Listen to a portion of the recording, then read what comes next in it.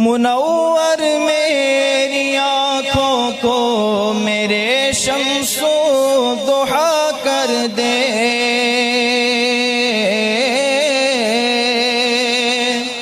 मुनवर मेरी आँखों को मेरे शमसो दुहा कर दे। गमों की धूप में वो सा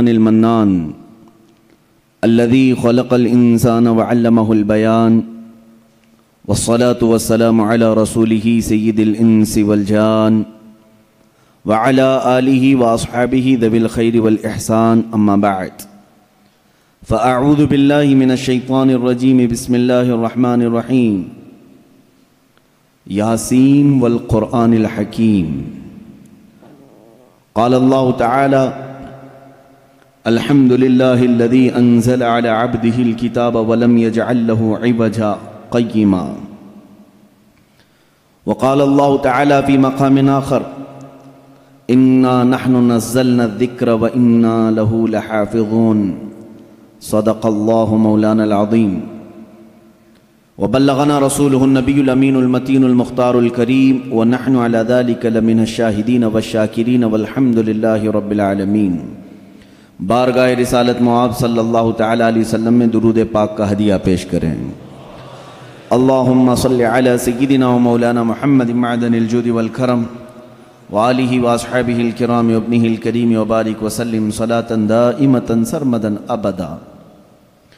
अजीज़ा निगराम वक़ार, आज की इस महफिल पाक में मैं हमारी ज़िंदगी का दस्तूर हयात जो अल्लाह ताला ने हमें अता किया है,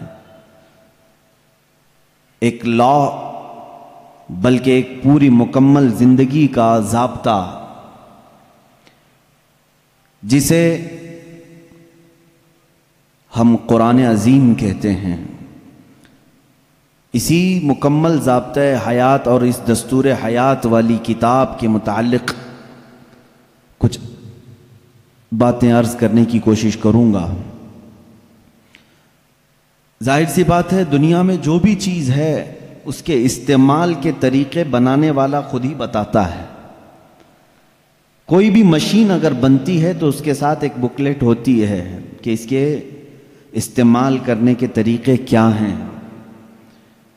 आप कोई भी गाड़ी ख़रीद करके लाएँ तो उसमें भी लिखा जाता है कि इसके फ़ंक्शंस क्या क्या हैं फीचर्स क्या क्या हैं।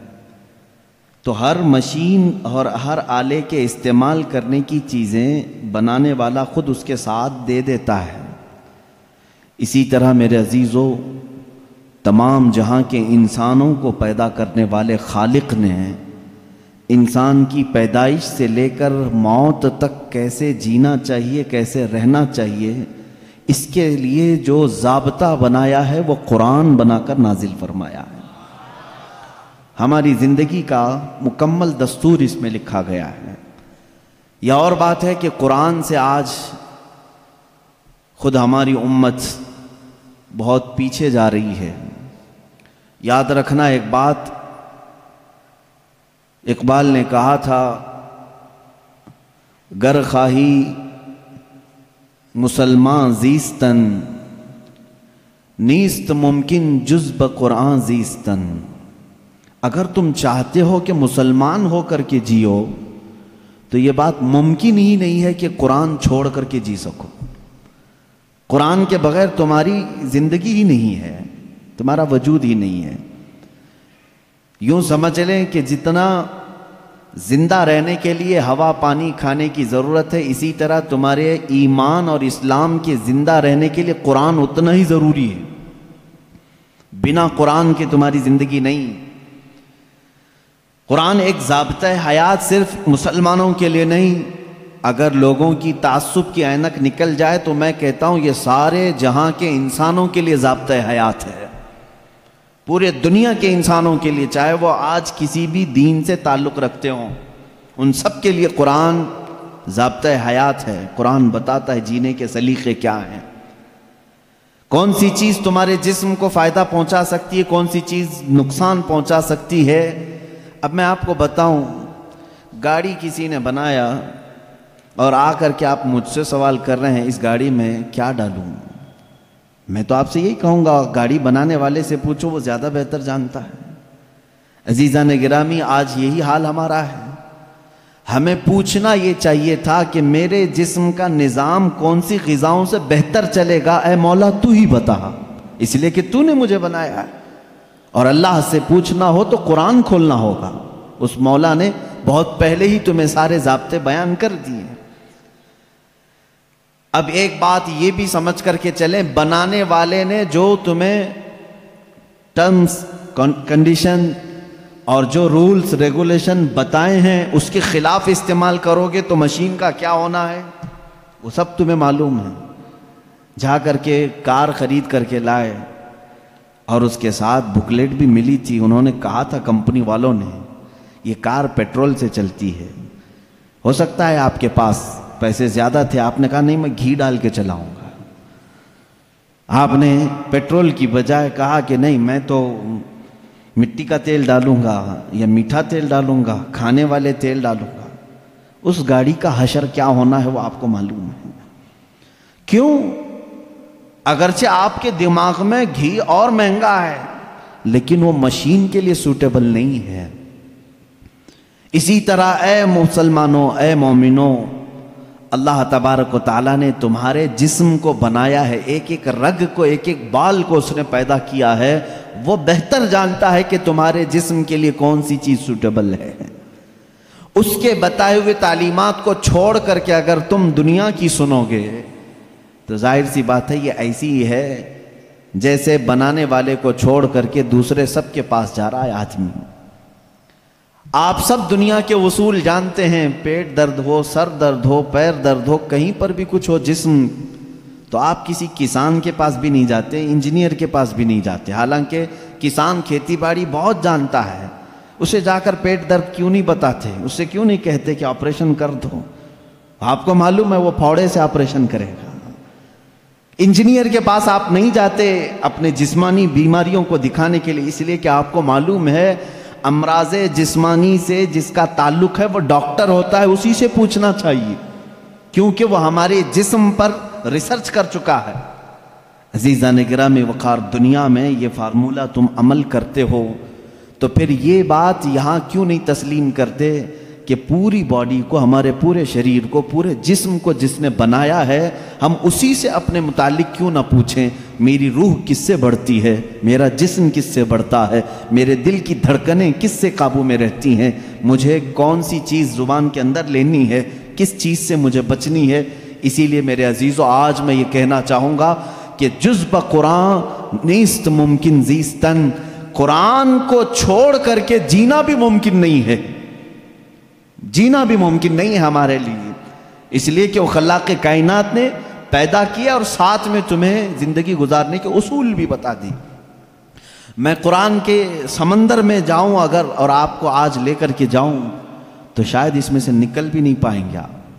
एक ऐसे समंदर का नाम है ये, जिसमें जो जितना गोता लगाया, उतनी मोतियाँ लेकर के आया और इसके अजायबात, इसके असरार, इसके रमूज कभी ख़त्म नहीं होंगे।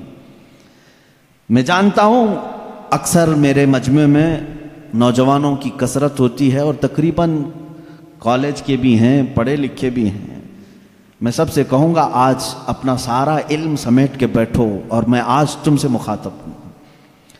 आपसे मुखातिब हूँ, मैं सारे ओलूम पर आज इंशाला डिस्कस करने की कोशिश करूँगा। सारे नहीं, जितने मेरे बसात के मुताबिक हैं। मैं आज पहले आपको ये बता दूँ कि कुरान इस्लाम की रोशनी में हमारे नज़रिए के अतबार से पहले इसकी थोड़ी सी तारीख, कुरान जो है, ये लफ्ज़ अरबी है। बार बार पढ़ी जाने वाली चीज़ को कुरान कहा जाता है और दुनिया में ऐसी कोई किताब ही नहीं जिसको सबसे ज़्यादा कुरान के अलावा पढ़ा जाता। कोई किताब नहीं। इतनी ज़्यादा कसरत से जिसकी तिलावत होती है, दुनिया में ऐसी कोई किताब है ही नहीं। कोई किताब नहीं। अहादी से रसूल भी नहीं, क्योंकि वो तिलावत नहीं होते। कुरान की तिलावत होती करोड़ों मुसलमान हैं, और बगैर कुरान की तिलावत किए किसी की नमाज़ भी मुमकिन नहीं। किसी की नमाज़ भी नहीं है। आपकी नमाज़ कुरान के बगैर होती है? नहीं होती। तो कसरत से तिलावत करने वाली चीज़ को कुरान कहा जाता है, इसीलिए इस मुसहफ को, यानी इस किताब का नाम कुरान रखा गया। हालाँकि कुरान पाक हमारी जुबानों में मशहूर है, इसका एक ही नाम नहीं है, और सत्ताईस नाम अलग हैं। कुरान पाक को अरबी में अलग अलग नामों से ज़िक्र किया गया है, बल्कि खुद कुरान में ही इसके कई नाम आए कुरान में अल्लाह ताला ने इसको फुरकान भी फरमाया, इसी को तंजील भी फरमाया, इसी को किताब भी फरमाया, इसी को नूर भी फरमाया, इसी का एक नाम शिफा भी है, इसी का एक नाम रहमत भी है, इसी का एक नाम अलबयान भी है। इसी का एक नाम अहसनुल हदीस है, इसी का एक नाम अल बुरहान है, इसी का एक नाम अल मीज़ान है, इसी का एक नाम अल अमाना है, और इसी का नाम कुरान पाक भी है। ये तमाम नाम कुरान पाक के खुद कुरान में इस्तेमाल हुए हैं। अल्लाह ने खुद कुरान पाक में फरमाया है, कसीर नाम है और हर नाम की एक अलग अलग वजह है कि क्यों इसका नाम ये रखा गया। अब अंदाज़ा करो आप कि मैं एक एक नाम की तशरी बयान करूँ तो 27 दिन तो इसी में लग जाएँगे कि कुरान के नाम क्या क्या हैं। एक एक नाम, कुरान क्यों कहा गया? मैं तो उसकी एक मुख्तसर वजह बताया ना, सबसे ज़्यादा पढ़ी जाने वाली चीज़ है, इसलिए इसको क्या कहते हैं? कुरान। इसी तरह बयान, अल्लाह ने फरमाया, हर चीज़ का इसमें बयान है, कुछ भी नहीं छोड़ा गया है, इसलिए इसको बयान कहते हैं। तंजील, इसलिए कि ये उतारा गया है, इसलिए इसको तंजील कहते हैं। अहसनुल हदीस है, सबसे अच्छी बात को कहते हैं अरबी में, और कुरान से अच्छी बात कोई है नहीं, इसलिए इसका नाम अहसनुल हदीस है। इसका एक नाम शिफा है, इसलिए कि इसकी आयतें मरीजों पर पढ़ो तो शिफा मिलती है। इसका नाम हुदा है, इसलिए कि इसमें हिदायत की आयतें हैं। भटके हुआ बंदा अगर पढ़ ले तो सीधे रास्ते पर आ जाए। इसका नाम रहमत है, इसलिए कि गम में अगर कभी बंदा इसको पढ़ ले बल्कि हुजूर अकरम वसल्लम ने फरमाया, अपनी मैयतों पर सूर्य यासीन पढ़ो, उन पर रहमत होती है। तो कुरान का नाम रहमत भी है, इसीलिए कुरान के असमा और कुरान के नामों की तफसील अपना एक अलग टॉपिक है। लेकिन मैं आपको बताऊँ, जिस कुरान को हमने तर्क किया हुआ है आज, ए मेरे अज़ीज़ बच्चों, आज की महफिल के बाद मैं सबसे कहूँगा, अहद करके उठना कि अल्लाह मुझे उस वक्त तक मौत न दे जब तक मेरे सीने में कुरान का कोई हिस्सा ना आ जाए? इसलिए कि रसूल करीम सल्लल्लाहु अलैहि वसल्लम ने फरमाया, जिस मुसलमान के सीने में कुरान का कोई हिस्सा नहीं, हजूर पाक सल्लल्लाहु अलैहि वसल्लम ने फरमाया, वो कब्रस्तान की तरह वीरान है। जिस घर में कुरान की तिलावत नहीं होती, वो घर वीरान है। ख़राब, हजूर अक्रम सल्लल्लाहु अलैहि वसल्लम ने फरमाया वहाँ से फरिश्तों का फरिश्तों की दूरी होती है और शयातीन और सरकश जिन्नात उनके घरों में बसेरा करने लगते हैं, जिन घरों में कुरान की तिलावत नहीं होती। कुरान का एक हिस्सा, एक हिस्से से मुराद, चंद आयतें, चंद सूरतें भी अगर तुम्हें याद हैं इनशाला लजीज आप इसकी फजीलत के साथ क़यामत के दिन शफात के मुस्तक भी होंगे।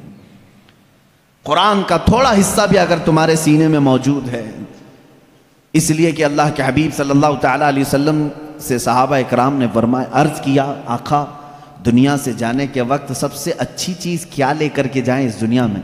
हजूर पाक सल्लल्लाहु अलैहि ने फरमाया, रब ताला के नज़दीक वो बंदा दुनिया में लाने वाली चीज़ों में सबसे बेहतर है जो कुरान अपने साथ लाया हो।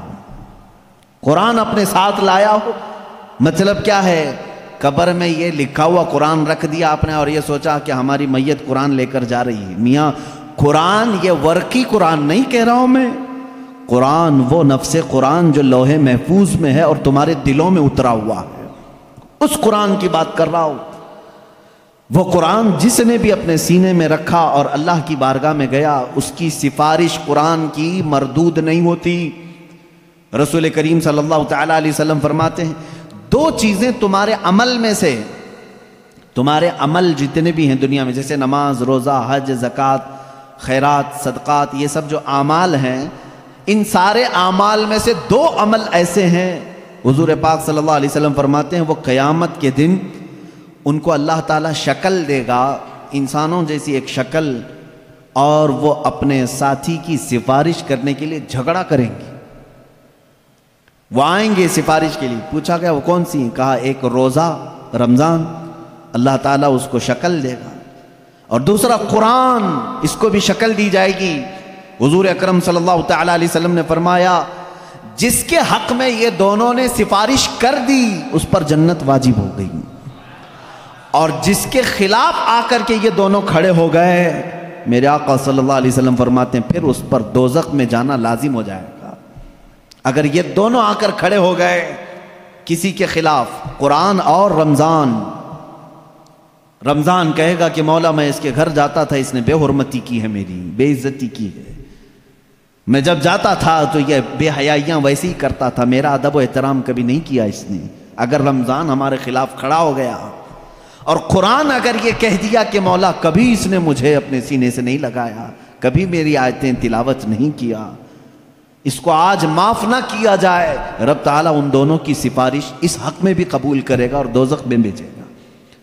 अल्लाह के रसूल सल्लल्लाहु अलैहि वसल्लम जो सैयदुल मासूमीन हैं, बख्शे हुए हैं, वो दुआ ये करते थे अल्लाहल कुरान हजतन लना, ला हजतन अलैना। अल्लाह कुरान को कयामत के दिन हमारा सिफारिशी बना, हमारे खिलाफ मुकदमा करने वाला ना बना।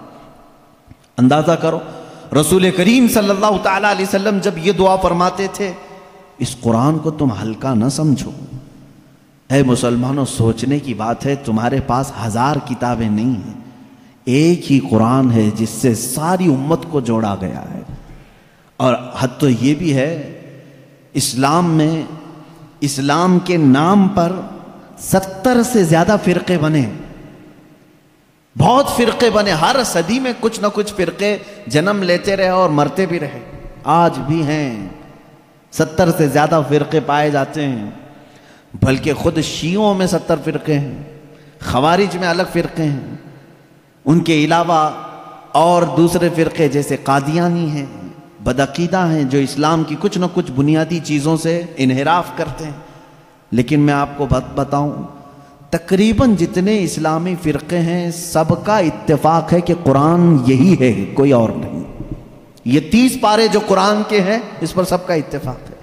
ये भी कुरान का एक मुजज़ा है, दूसरे सारे मसलों में इख्तलाफ चल रहा है। लेकिन कुरान का अलिफ्लामीन सूर फातिहा से शुरू होकर वन्नास पे ख़त्म होने में तकरीबन सारे फ़िरक़े इसको तस्लीम करते हैं।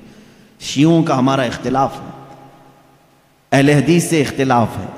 देवबंदियों से इख्तलाफ है, राफजियों से इख्तलाफ है, कादियानियों से इख्तलाफ है। लेकिन जाकर के सारे मकातब फ़िक्र में आप देखें, सबके यहाँ यही कुरान पढ़ा जाता है। यही कुरान है। इसीलिए मैं कहता हूँ, एक कुरान है, लेकिन इस उम्मत ने इसको इतना बोझल क्यों समझा है? इसको इतना भारी क्यों समझा है? जबकि वो मौला इसी कुरान में यूँ फरमाता है, एक बार नहीं, चार बार फरमा रहा है। वलकद यसरनल कुरान दिक्री फहल में मुद्दकिर हमने कुरान को याद करने के लिए आसान बनाया है, हर कोई याद करने वाला। और वो इतना आसान है, इतना आसान है। मैंने खुद देखा है कि वो बच्चे जिनको अभी सूझबूझ भी नहीं आती समझ बूझ भी नहीं आती, वो भी जब कुरान याद करने लग जाते हैं तो उनके सीनों में कुरान उतर जाता है। जब मैं खुद कुरान हिफ्स करने के लिए निकला था। हमारी उम्र 11 साल की थी। बहुत सारे मामला समझ में नहीं आते थे। लेकिन हमने तेज़ी से याद किया, अल्लाह का फजल था। हमारे साथ कुछ ऐसे भी थे जिनको टू प्लस टू क्या होता है ये भी नहीं मालूम था, लेकिन वो तीस पारे के हाफिज थे। दूसरी चीज़ों में अगरचे जहन कुंद हो, लेकिन कुरान एक मोजा है जो याद करने वाले के सीने में उतर जाता है। हाँ ये उसके साथ नहीं जाता जो इसको भारी समझता है। जो इसको बोझल समझ करके छोड़ा, उसके साथ नहीं जाता। और जो इससे मोहब्बत किया, उसके सीने में बहुत आसानी से उतरता है। मैंने तो महसूस किया है, हमारे साथ ऐसा भी होता रहा है, उस्ताद बैठे हुए हैं, सुनते रहते थे। एक दिन का इत्तेफाक ऐसा हुआ कि खबर ये लगी कि कल शायद उस्ताद आने वाले नहीं हैं। मौज मस्ती करते हैं सारे। कल का तो सबक छुट्टी है, कुछ याद नहीं। क्योंकि पहले ही मालूम हो गया, उस्ताद नहीं आने वाले हैं। और सुबह आठ बजे से क्लास चलती थी, नौ बजे तक नहीं आए तो पक्का हो गया कि आएँगी। क्लास बंद करके निकलने ही वाले थे कि उस्ताद सामने नज़र आ गए। सबको कहा, बैठो, मेरी कोई छुट्टी नहीं है। मैं ताखिर हो गया था बस। मौखर हो गया था। अब सबक सुनाने के लिए जिसको भी बुलाया जाए, ज़ाहिर सी बात है, जो सख्तियाँ होती थी कहाँ से? रात को याद नहीं किए, सुबह याद नहीं किए, सामने अचानक सुनने के लिए। ऐसे आलम में मेरा खुद का तजुर्बा भी है। कई हमारे साथियों का भी तजुर्बा है। कुरान पर हाथ रखा, दिल से कहा, अल्लाह का कलाम है, उतर जा जल्दी से। बस और कुछ नहीं। शायद दस मिनट लगे हों, पंद्रह मिनट लगे हों, कुरान के दो सफ़े याद हो जाते थे। जितनी जल्दी पानी हजम नहीं होता, उससे जल्दी कुरान याद होता था। करके तो देखा होता आपने, करके तो देखा होता। शुरू में शैतान बहुत वर्गलाता है, बहुत बहकाता है। याद करने नहीं देता और भगाता है, लेकिन जो जम गया तो फिर कुरान ही उसका मददगार भी होता है। कुरान उसका मददगार होता है। अब मैं चंद हदीसें आपको बताऊँ कि कुरान कहाँ तक तुम्हारी दोस्ती निभाता है। पहली बात, कुछ लोग डर करके छोड़े हुए, हम तो पढ़ ही नहीं पाते थे। उस पर भी मैं आज एक हदीस पढ़ा, हज़रत आयशा सिद्दीक़ा अल्लाह तहा से मरवी है। फरमाती हैं, रसूल करीम सल्लल्लाहु अलैहि वसल्लम ने फरमा अल माहिर फिल कुरान, जो कुरान का माहिर है, यानी अच्छी तजवीद में तिलावत करता है, और उसके मानी भी समझता है, सब समझता है हुजूर अकरम सल्लल्लाहु ने फरमाया, क़यामत के दिन वो मुअज़्ज़ज़, मोहतरम फरिश्तों और अम्बिया के साथ होगा। जो माहिर है कुरान में, जो कुरान अच्छे से तिलावत करता है, यहाँ तक तो बात ठीक है। आगे मेरे आका सल्लल्लाहु अलैहि वसल्लम फरमाते हैं वल्लदी यक़राउल कुरान यततअतअ फीही व अलैहि शाक़ुन फलहु अजरानी। औ कमा क़ाल रसूलुल्लाह सल्लल्लाहु अलैहि वसल्लम। मेरे आका फरमाते हैं, और वो बंदा जो अटक अटक के पढ़ता है, उसके लिए ज़ुबान फिसल जाती है। ये साफ़ है, अल्फाज हदीस में। जो अटक अटक के पढ़ता है, ज़ुबान फिसल जाती है, या जहन मोटा है, ज़ुबान मोटी है, जल्दी समझ में नहीं आता, इधर उधर हिज्जे करके पढ़ता है, मेरे आका सल्लल्लाहु अलैहि वसल्लम ने फरमाया, उसको डबल अजर है। फलहू अजरानी, उसको दुगना अजर है। तो क्यों छोड़ दिया था इस कुरान को? यही सोच करके पता नहीं कहाँ गलती हो जाए। तुम लगे रहते हैं। एक दिन वो आ जाता जब हमारी जुबानों की लकनत को भी ये सही कर देता। कुरान पाक इलाज भी है, शिफा भी है, दवा भी है, रिस्क भी है, रहमत भी है। अजीज़ा ने गिरा में मेरे आका सल्लल्लाहु अलैहि वसल्लम ने फरमाया, अहादीस के चंद जुमले मैं आपके सामने रख दूँ। रसूल पाक सल्लल्लाहु अलैहि वसल्लम फरमाते हैं कि जो कुरान घर में तिलावत करता है, उसके लिए एक फरिश्ता है जिसका नाम सकीना है। हज़रत उसैद बिन हुजैर रल्ला एक साहबी हैं, वो रात में तिलावत कर रहे थे, अचानक बादल का एक टुकड़ा नीचे आ गया। बादल का टुकड़ा कभी नीचे आपने देखा नहीं होगा। उसमें क्या होता है मालूम है? जैसे फ्रिज खोलने के बाद बहुत तेज शबनम जैसी ठंडक रहती है, इस तरह बादलों को कुछ जमी हुए पानी और बर्फ़ जैसी चीज़ें घेरी हुई रहती एक टुकड़ा उनके ऊपर आ गया। हज़रत उसैद डर गए। उनका घोड़ा हिन हिनाने लगा दो तेज़ी से उछल कूद करने लगा। और वो कुरान पढ़ रहे थे उस वक्त। और उन्होंने कुरान छोड़ दिया। और सुबह हुजूर अकरम सल्लल्लाहु अलैहि वसल्लम के दरबार में आए, कहा, या रसूल अल्लाह सल्लल्लाहु अलैहि वसल्लम, मुझे डर लग रहा है। रात को मैं छत पर बैठकर कुरान पढ़ रहा था। सिर्फ़ मेरी बीवी है और मेरे घर में घोड़ा है। हम मुझे डर ये लगा कि आसमान से कुछ बरस जाएगा और मैं हिलाक हो जाऊँगा। बादल का टुकड़ा यहाँ तक आ गया था, सर तक आ गया था और मेरा घोड़ा भी देख करके हिन हिनाने लगा, उछल कूद करने लगा। ये क्या मामला है? अल्लाह के हबीब सल्लल्लाहु अलैहि वसल्लम ने फरमाया, मुस्कुराया, कहा, उसे तिलावत छोड़ क्यों दिया? और पढ़ते रहते हैं, इसलिए कि वो फरिश्ता है जिसे कुरान सुनने का बहुत शौक है। जब भी कोई कुरान तिलावत करता है तो आसमानों से उतर आता है। यहाँ तक कि मेरे आका सल्लल्लाहु अलैहि वसल्लम ने फरमाया, फजर की नमाज़ में आओ, अपने मुँह साफ़ करके आओ, अपने मुँह की बदबू निकाल करके आओ। पूछा, क्यों? फरमाते हैं, मेरे आका सल्लल्लाहु अलैहि वसल्लम, जब तुम नमाजों में कुरान की तिलावत करते हो, कुछ ऐसे फरिश्ते हैं, वो अपना मुँह तुम्हारे मुँह से लगा देते हैं। तो मुँह की बदबू ना हो, फरिश्तों को तकलीफ़ ना हो इसलिए कि वो कुरान सुनने के शौकीन हैं। जब तुम तिलावत करते हो तो वो उतर जाते हैं और तुम्हारे मुँह से अपना मुँह लगा लेते हैं। कुरान की ये बरकत है मेरे अजीजों।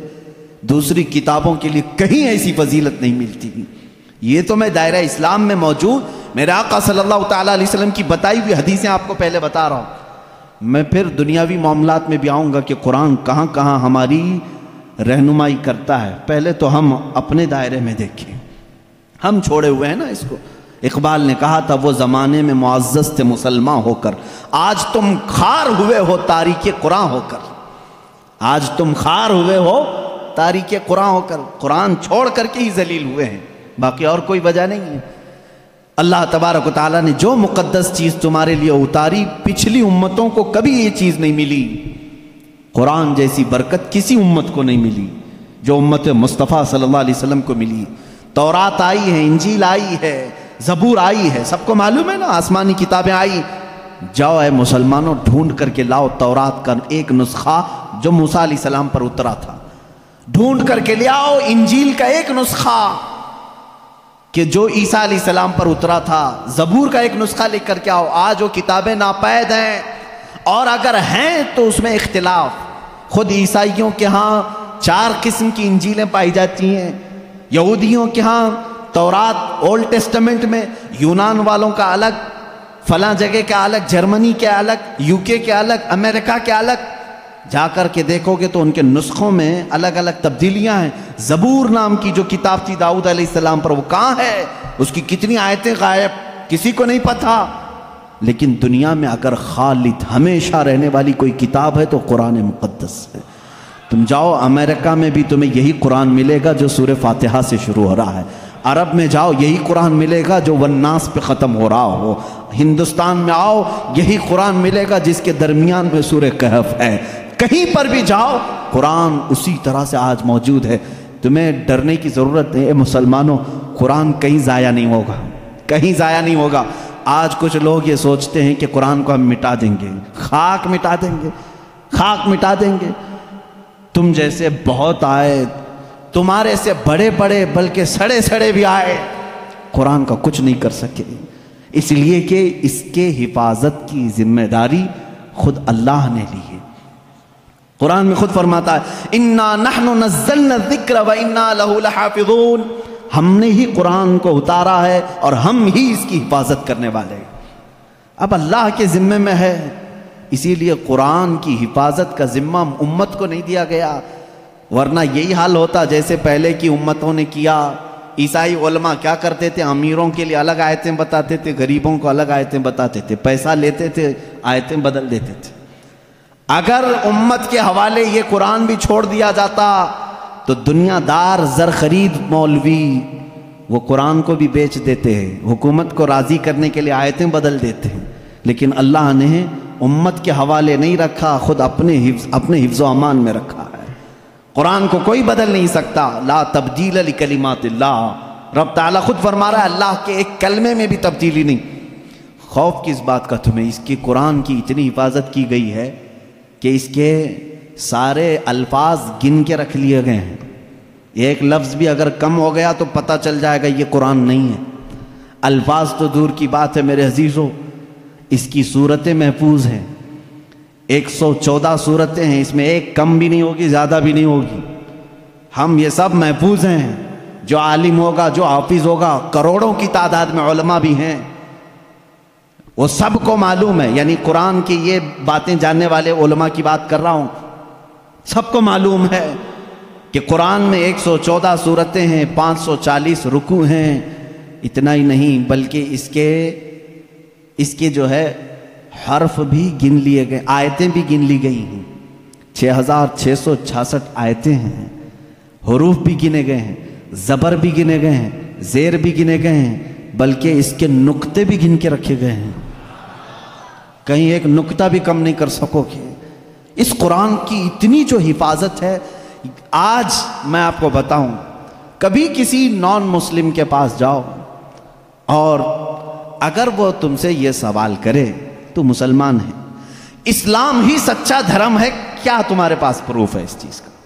तुम क्या कहोगे, हुजूर सल्लल्लाहु अलैहि वसल्लम के मोजेज़े सुनाओगे, इनकार करेगा मेरे आका सल्लल्लाहु अलैहि वसल्लम ने चाँद के दो टुकड़े फरमाए, सूरज को पलटा दिया, बहुत सारे मोजेज़े वो कहेगा, मैं नहीं मानता इन चीज़ों वो उस जमाने में थे, मैं कहाँ देखा हूँ? अगर तुम उसके सामने इस्लाम की अजीम फतूहत को दिखाओगे, वो कहेगा, मैं नहीं मानता, ये सब कहानियाँ होंगी। हमारे भी भगवानों के ज़िक्र इस तरह से किए गए हैं। इसी तरह की बातें हमारे पास भी मौजूद हैं, हर कोई कहेगा। तुम्हारे पास अगर अपने हक होने की कोई अलामत आज भी मौजूद है तो सिर्फ़ कुरान पाक है। उसे कहो, मेरे सच्चे मज़हब पर और अच्छे मज़हब पर कायम होने की सबसे बड़ी दलील, सबसे बड़ा प्रूफ कुरान है। ला करके दिखाओ, इस तरह की कोई दूसरी किताब किसी के पास हो। कम से कम 1400 साल से जो महफूज चली आ रही है दुनिया में, किसी लेबोरेटरी में भी, किसी लाइब्रेरी में भी इतनी पुरानी कोई किताब आज महफूज मौजूद है ही नहीं। ये मेरी बात नहीं, सारी दुनिया का जो दूसरे रिलीजन से ताल्लुक़ रखते हैं, उनका भी यही कौल है कि कुरान से ज़्यादा महफूज इस दुनिया में अब कोई चीज़ नहीं रह गई इसकी हिफाजत को अल्लाह ने इस तरह से तरतीब देकर फरमाया है कि मुसलमान अपने बच्चों को हाफिज़ कुरान बनाते हैं और इसकी हिफाजत में लगे हुए हैं। अल्लाह ताला ने सीनों को चुना हुआ है इस कुरान की हिफाजत के लिए। खैर मेरे अजीज़ों आदि से करीमा में यह है हजूर अक्रम सल्लल्लाहु अलैहि वसल्लम फरमाते हैं, क़यामत के दिन एक बंदा आएगा जो कुरान तिलावत करता था, इसके हिसाब की बारी आएगी तो रब ताला इससे फरमाएगा, इकरा कुरान वर्तकी वरतिल। ए बंदे, कुरान यहाँ पर भी पढ़ जैसे दुनिया में पढ़ता था। जैसे तो कुरान पढ़ता था, यहाँ पर भी पढ़, और जब तक वो पढ़ता रहेगा, रब तबारक ताला फरमाता वरतकी वरतिल, एक आयत पढ़। एक दर्जा ऊपर, दूसरी आयत पर, दूसरा दर्जा ऊपर, तीसरी आयत पर, तीसरा दर्जा ऊपर। जन्नत में वो दर्जे तय करता जाता रहेगा, जहाँ जाकर के वो कुरान की तिलावत खत्म करेगा, कहा जाएगा, यही तेरा दर्जा है। मेरे आका सल्लल्लाहु अलैहि वसल्लम से पूछा गया कि क्या ये कुरान जब तक वो तिलावत करता रहेगा, उसके दर्जे बुलंद होते रहेंगे? हुजूर अकरम सल्लल्लाहु अलैहि वसल्लम की हदीस में हाँ मैंने जन्नत में देखा है, कुरान की तिलावत करने वालों से ऊपर किसी का दर्जा आया ही नहीं। क्योंकि ये तिलावत करते करते, क्योंकि जो कुछ भी जन्नत हासिल करने का ऑप्शन है ना, वो दुनिया में ही तो है। तुम इतनी नमाजें पढ़ो तो ये जन्नत है, इतने रोज़े रखो तो ये जन्नत का दरवाज़ा तुम्हारे लिए, हज करो तो ये जन्नत का दरवाज़ा तुम्हारे लिए। सारे ऑप्शन जन्नत हासिल करने के दुनिया में है। ये दारुल अमल है। मरने के बाद अमल ख़त्म हो जाएगा। लेकिन क़यामत में सिर्फ़ एक अमल है, जिसको फिर रब ताला रिपीट करवाएगा। वहाँ नहीं कहा जाएगा नमाज़ फिर से पढ़ के दिखा, हज करके दिखा, रोज़ा रख के दिखा, ख़त्म हो गया अमाल। लेकिन कुरान पढ़ने वाले को कहा जाएगा, अब भी चाहता है तो पढ़ और ऊपर चल और बढ़ता जा। तो जिसको कुरान आता होगा, वो पढ़ता जाएगा पढ़ता जाएगा और दर्जे तय करता जाएगा। ये फजीलतें मेरे आका सल्लल्लाहु अलैहि वसल्लम ने सुनाई और ये जो हदीसें मैं ज़िक्र कर रहा हूँ मुतफ़ अहले और सही अदीस आपके सामने ज़िक्र कर रहा हूँ। यहाँ तक के हुजूर अकरम सल्लल्लाहु अलैहि वसल्लम की एक हदीस है, क़यामत के दिन वो बच्चे जिन्होंने कुरान को अपने सीने में रखा था, वो बुलाए जाएँगे। अल्लाह का कलाम याद किया। तो जब वो आएँगे तो रब तबारक ताला उन बच्चों को बाद में फरमाएगा, इनके वालदेन के सर पर पहले ताज रखा जाए। उल बिसवालिदाहु ताजन यौमल क़ियामती। रसूल करीम सल्लल्लाहु अलैहि वसल्लम फरमाते क़यामत के दिन ऐसा ताज पहनाया जाएगा, जिससे सूरज की रोशनी भी फीकी पड़े। अहले महशर पूछेंगे, ये क्या है नबी हैं? ये सिद्दीक हैं? ये कौन है? तो फरिश्ते कहेंगे, ना ये नबी हैं, ना सिद्दीक हैं, ना शहदा हैं, बल्कि सिर्फ़ एक हाफिज़ कुरान के माँ बाप हैं। सिर्फ़ एक हाफिज़ कुरान के माँ बाप हैं। जब माँ बाप को ताज पहनाया जा रहा है तो जिसके सीने में कुरान था, उसको क्या किया जाएगा? रब ताला उसके लिए फरमाता है, मेरे आका सल्लल्लाहु अलैहि वसल्लम ने फरमाया, उस हाफिज़ कुरान को बुलाया जाएगा और उससे कहा जाएगा ऐसे दस लोग तेरे ख़ानदान के, जिन पर दोजख में जाना वाजिब हो गया, उनका हाथ पकड़, सिर्फ़ इसकी बरकत से मैं उनकी जहन्नम की सज़ा को माफ़ करके तेरे साथ जन्नत अता करूँगा। उसकी सिफारिश कबूल की जाएगी। लेकिन याद रखें मेरे अजीज़ों, हाफिज़ कुरान कुरान की आयात पर अमल करता हो, उसका अदब भी करें, एहतराम भी करें। आज ज़माने में हफाज कुरान के साथ बहुत ही बुरे सलूक देखने को मिलते हैं, याद रखना क़यामत के दिन वो उस अजाब में मुबतला होंगे जो कुरान की बेहरमती करने वाले का अजाब होगा। क्योंकि वह हाफिज़ कुरान की बेअदबी करते हैं। हमारे बुज़ुर्गान दीन जो सलफ़ सालहीन है, मैंने पढ़ा भी है, बुज़ुर्गान दीन का तरीक़ा तो ये होता था कि अगर कोई हाफिज़ कुरान ज़मीन पर बैठा है तो वो कभी ऊपर नहीं बैठते थे। हाँ अगर वो खुद हाफिज़ कुरान हैं तो फिर दोनों के मामला एक तरह के हैं।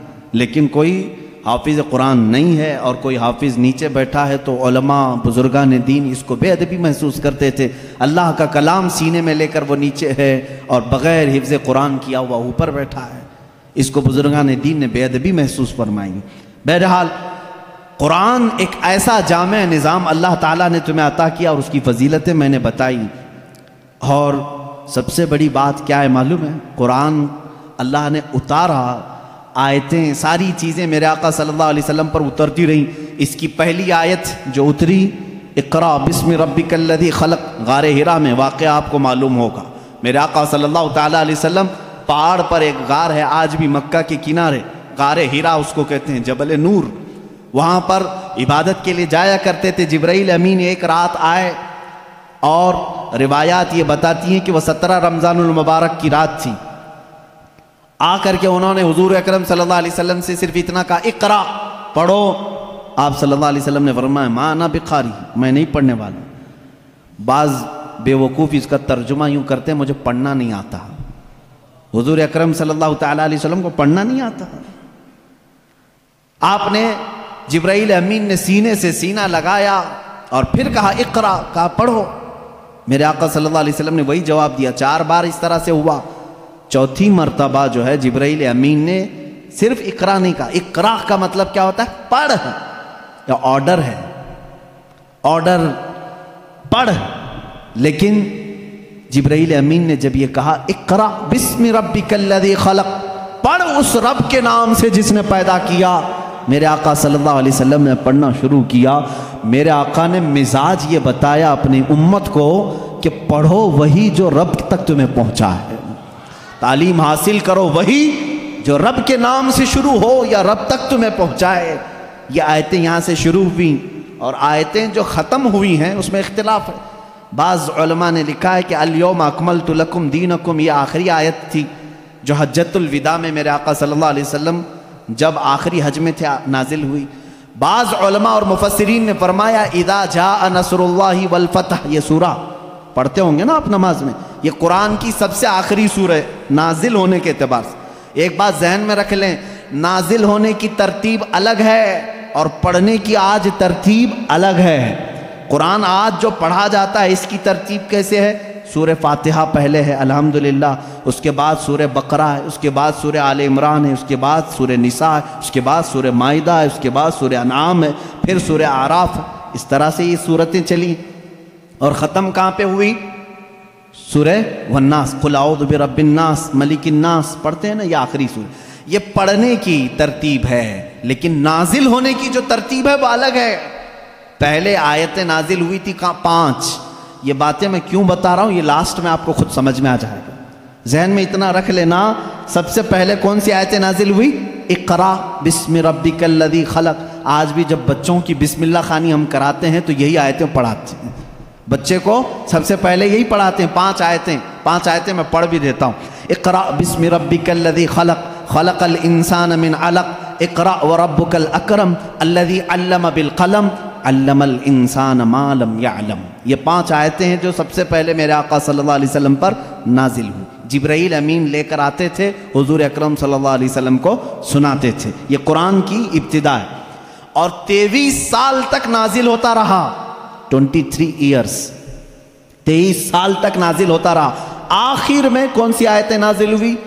एक तफसीर की रिवायत के मुताबिक इदा जा अनसरुल्लाहि वल फतह वरअतन्ना सैद खलून फ़ी दीन अफवाजा फसब बेहमद रबिक वस्तगफिर इन्नहु कान ये दो चीज़ें जहन में रखो। इकरा सबसे पहले सूर्य इजाजा नसरुल्लाह सबसे आखिर। ये कुरान के नजूल का ज़माना मैं आपको बताऊँ, तेईस साल तक नाजिल हुई। आपको मैं बताऊँ, कुरान इतने फसीह ज़ुबान में है। फसीह का मतलब लिटरेचर जिसको कहते हैं। जैसे एक उर्दू है जो हम और आप बोल, यहाँ हुबली की ज़ुबान होती है, इसको फसी उर्दू नहीं कहते, लखनऊ वाले फसी उर्दू बोलते हैं। आप कैसे, हम अब हम ज़ाहिर सी बात है, मैं तकरीर जो कर रहा हूँ, हो सकता है ये उर्दू अलग है, हुबली वाली उर्दू अलग है। उर्दू, अगर मैं वो बोलूँ तो फिर यहाँ भोंडा लगेगा। आबे जाबे तुबे, ये अगर जो आम तौर पर इस्तेमाल करते हैं, ये भोंडा लगता है। क्योंकि फसीह ज़ुबान में जब कोई बयान करे तो वो दिल में उतरती भी है बात। ज़ुबान की मिठास उसकी फसाहत में है। तो अरबी ज़ुबान में जो सबसे ज़्यादा फसीह जुमले थे, वो कुरान में आए। एक भी हल्का जुमला नहीं आया। एक भी कमतर जुमला नहीं आया। अब जैसे एक मिसाल मैं आपको बता दूँ।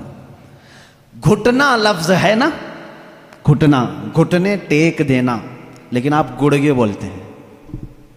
है कि नहीं? गुड़गे टेको गुड़गा क्या चीज़ है ये? गुड़गा ये तुम्हारी आमी ज़ुबान है। अगर ये मैं किताब में लिख दूँ कि मैं सजदे में जाते वक्त गुड़गा टेक दिया, आपको बुरा लगेगा। क्या मौलाना अच्छी ज़ुबान में बीच में हड्डी लेके आ गया घुटना लफ्ज है। घुटना, ये फसीह लफ्ज है। और एक आम लफ्ज होता है जिसको आप यूज़ कर रहे हैं। समझ रहे हैं? अब जैसे जानवर कहते हैं, जानवर है ना? अब आम ज़ुबान में कहते हैं जनावर। ये फसी लफ्ज नहीं है। ये फसी लफ्ज नहीं है। आप यूज़ कर रहे हैं, लेकिन आप जब आपस में बात करते रहते हैं तो इसको बुरा भी नहीं समझते। कितने जनावर ऐसे है? ये क्या है? ये फसी उर्दू नहीं है। अच्छा लड़का कहते हैं, लड़की कहते हैं, ये फसी उर्दू है। लड़का आया, लड़की आई, लेकिन आप कहें छोरा आया, छोरी आई। ये क्या है? छोकरा आया, छोकरी आई। इस तरह के ये फसाहत में इस्तेमाल नहीं। फसाहत में इस्तेमाल नहीं। तो ऐसी बहुत सारी चीज़ें हैं। उर्दू में मैं आपको समझा रहा हूँ, जो फसी होता है वो लिटरेचर है, अच्छी ज़ुबान। और कुरान पूरा का पूरा फसीह अरबी में नाजिल हुआ है। एक हर्फ भी ऐसा नहीं है जो आम लोग यूज़ करते हो। एक हर्फ भी ऐसा नहीं। और सिर्फ़ कुरान ही इस तरह है। और इसी वजह से अल्लाह रब्बुल इज़्ज़त ने चैलेंज पे चैलेंज किया है, कुरान पाक में। चैलेंज किसको कहते हैं मालूम है ना आपको? ला करके दिखाओ। अल्लाह ताला ने चार जगह पर चैलेंज फरमाया पहला तो यह है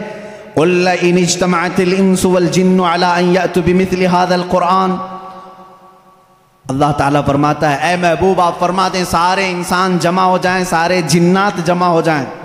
दुनिया में जितने इंसान हैं, सब जमा हो जाएँ, जितने जिन्नात हैं, सब जमा हो जाएँ। और अल्लाह फरमाता है कि बलो कान बादम लिबादिन जहीर, आपस में एक दूसरे की मदद भी करें। किस बारे में जमा होकर के क्या करें? अला हादल कुरान। इस कुरान की तरह एक और किताब ला करके दिखाएँ। ये पहला चैलेंज था। अरब वालों को चैलेंज था जो अरब वाले अरबी जानते थे। अगर यहाँ वालों को बोले होते, पता नहीं क्या होता। दूसरी ज़ुबान ही नहीं है तुम्हारी। अरब वाले जो अरबी में माहिर थे, उनको ही चैलेंज है कि ये अरबी में कुरान उतरा, इस तरह का एक कुरान ला करके दिखाओ। पूरे कुरान लाने की बात तो चल रही थी। नहीं ला सके, जमाना गुजर गया। उसके बाद रब ताला ने इस चैलेंज को थोड़ा हल्का कर दिया, कम कर दिया। कम कर दिया, कहा, अम यकूलून अफ्तरा फातू बेशरी सुअर मिथली ये अल्लाह के कलाम पर झूठ झूठ कहते हैं, हुजूर को कहते हैं, शायर है, साहिर है, जादूगर है। ए रसूल, इनसे कह दें, पूरा कुरान तो अब तक बना के नहीं ला सके, इसकी दस सूरतें बना करके लाओ। इसके जैसी दस सूरे दस सूर्य बना करके लाओ। हुजूर अकरम वसल्लम ने चैलेंज किया मक्का वालों को। और वो आपस में चिमी गोइयाँ करते रहते थे। अरे चैलेंज थोड़ा हल्का हो गया, अब तो बनाओ। पूरी किताब नहीं, दस सूर्य बनाना है। 114 सूरतें हैं कुरान की। उसमें से दस सूरतों की बराबर कोई सूर्य लेके आओ। नहीं लाए। फिर उसके बाद अल्लाह तबारक ने तीसरी मरतबा जा करके और चैलेंज को कम कर दिया।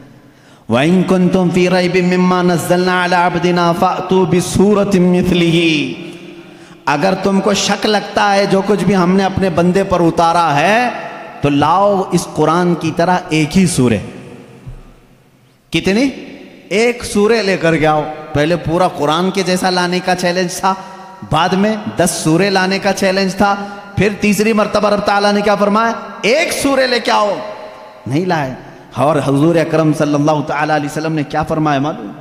एक सूर्य जब वो नहीं ला गए उस ज़माने में क्या होता था? कंपटीशन होता था शेर व शायरी का। मुशायरे होते हैं ना अच्छा शेर किसका है, उसको इनाम दिया जाए। जो शेर व शायरी करते हैं, वो जानते हैं। अरब वाले शेर व शायरी में बहुत मशहूर थे।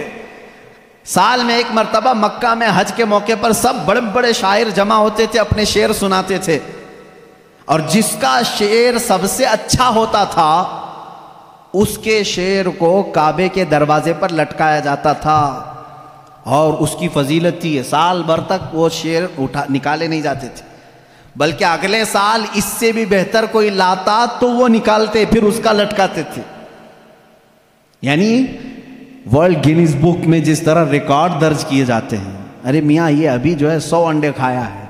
अब दूसरे का नाम उसी वक्त लिखा जाएगा जब 150 अंडे कोई खा क्या है, है? वहाँ रिकॉर्ड बनाने के लिए शेर और शायरी होती थी और मक्का में खाने काबा के दरवाजे पर लटकाए जाते थे। वो हर साल का मामूल था। एक साल मेरे आका सल्लल्लाहु अलैहि वसल्लम ने लिखा इन्ना आतना कल कौतर फ़सल रबी का वनहर इन नशानिया का हुल अबतर। तीन आयतें हैं एक छोटी सूर्य है। ले जा करके मेरे आका सल्लल्लाहु अलैहि वसल्लम ने खाने काबा के दरवाजे पर लटकाया, आओ अरब वालों, इससे बेहतर कोई चीज़ हो तो इसको उतारा जाएगा और दूसरा उसका लाया हुआ शेर लगाया जाएगा। ये चैलेंज चला महीना, दो महीने, कई दिन तक। सारे परेशान थे। उस वक्त जो मौजूद थे, उनके बस में नहीं था। एक बहुत बड़े शायर को ये लोग यमन से या किसी इलाके से लेकर के आए और उससे कहा, ये चैलेंज मोहम्मद ने दिया है सल्लल्लाहु अलैहि वसल्लम कि ये तीन आयतें हैं इसके अंदर। इसके, इससे बेहतर कोई चीज़ ला करके दिखाए आपको समझ में नहीं आएगा, ये तीन चीज़ें बनाने में क्या दिक्कत है? मेरे अजीज़ों, ये सिर्फ़ तीन आयतें नहीं है। जब इसके हरूफ को जोड़ करके देखा जाए तो ये ज़बान जानने वाले ही जानते हैं कि इसके फ़ायदे क्या क्या हैं। वो बड़ा शायर आया, जो बात भी शेर व शायरी में करता था। अगर वो पूछता किसी से, आप खैरियत से हैं तो शेर से ही पूछता था। अगर उससे आप पूछते, खाना खाए? जवाब भी शेर में देता था। वो आया, जब उसने देखा कि खान काबा पर ये तीन चीज़ें लटकाई गई हैं, इन्ना तैना कल कौतर फ़सल रबी का वनहर इन नशानिया का हुआ लबतर उससे कहा गया, जवाब लिखो इसका। तो उसने अपने एक एक टुकड़े में लिखा माहादा कलामुल बशर। ये बशर का कलाम हो ही नहीं सकता। मैं क्या जवाब दूँ? ये बशर का कलाम हो ही नहीं सकता। वो चला गया। ये चैलेंज चलता रहा, कोई नहीं ला सका कुरान के मिसल। और आपको मैं बताऊँ मज़ा का खेज बात।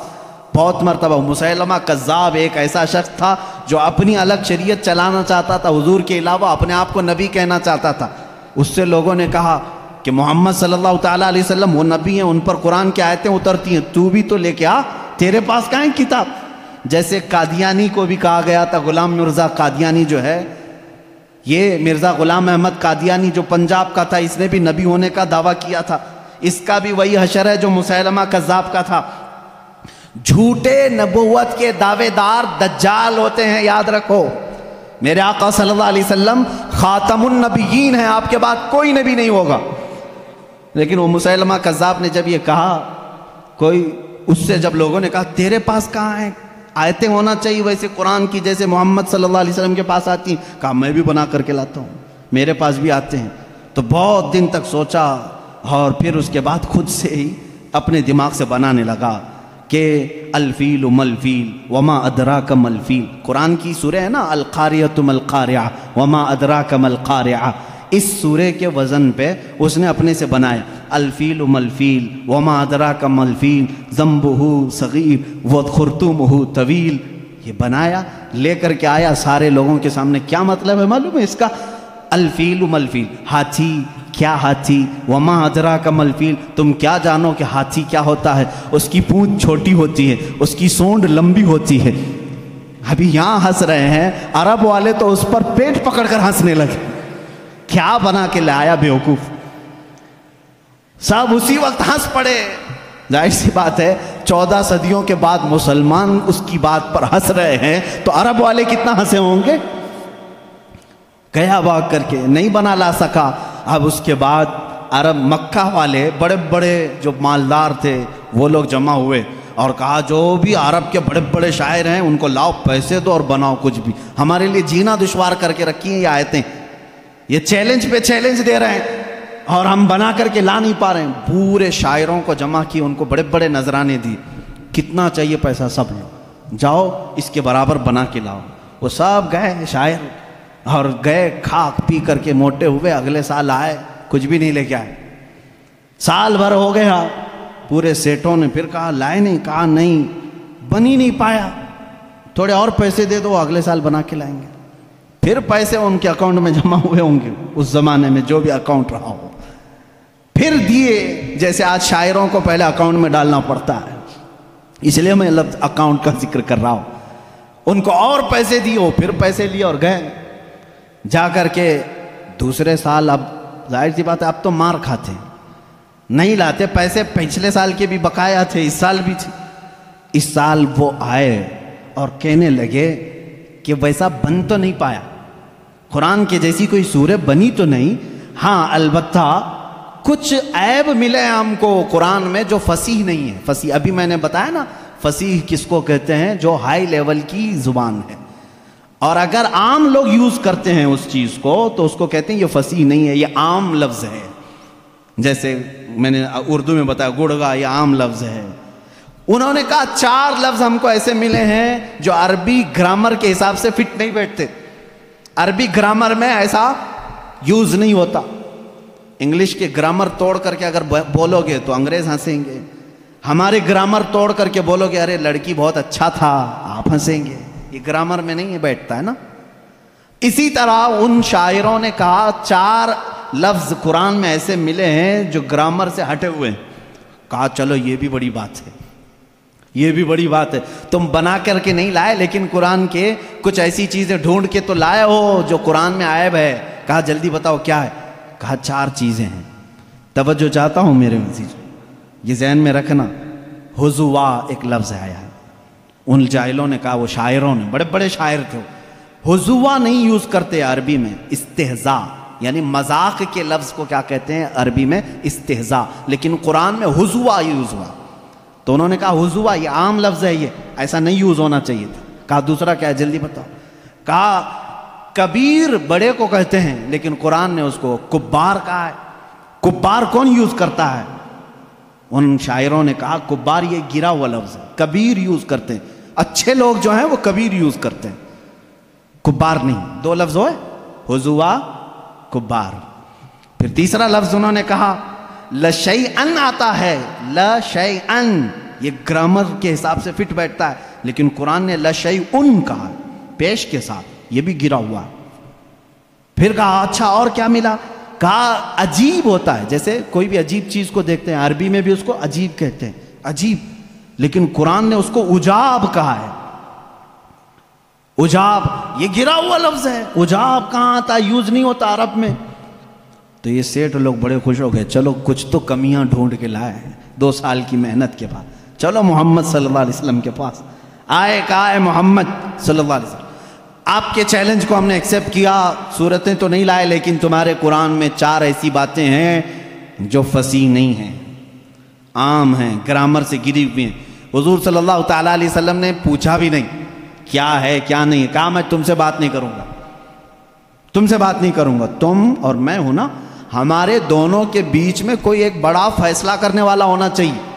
कौन तय करेगा? कौन तय करेगा कि अरबी ग्रामर के हिसाब से फिट बैठते हैं कि नहीं बैठते हैं? फंसी है कि गैर फंसी है?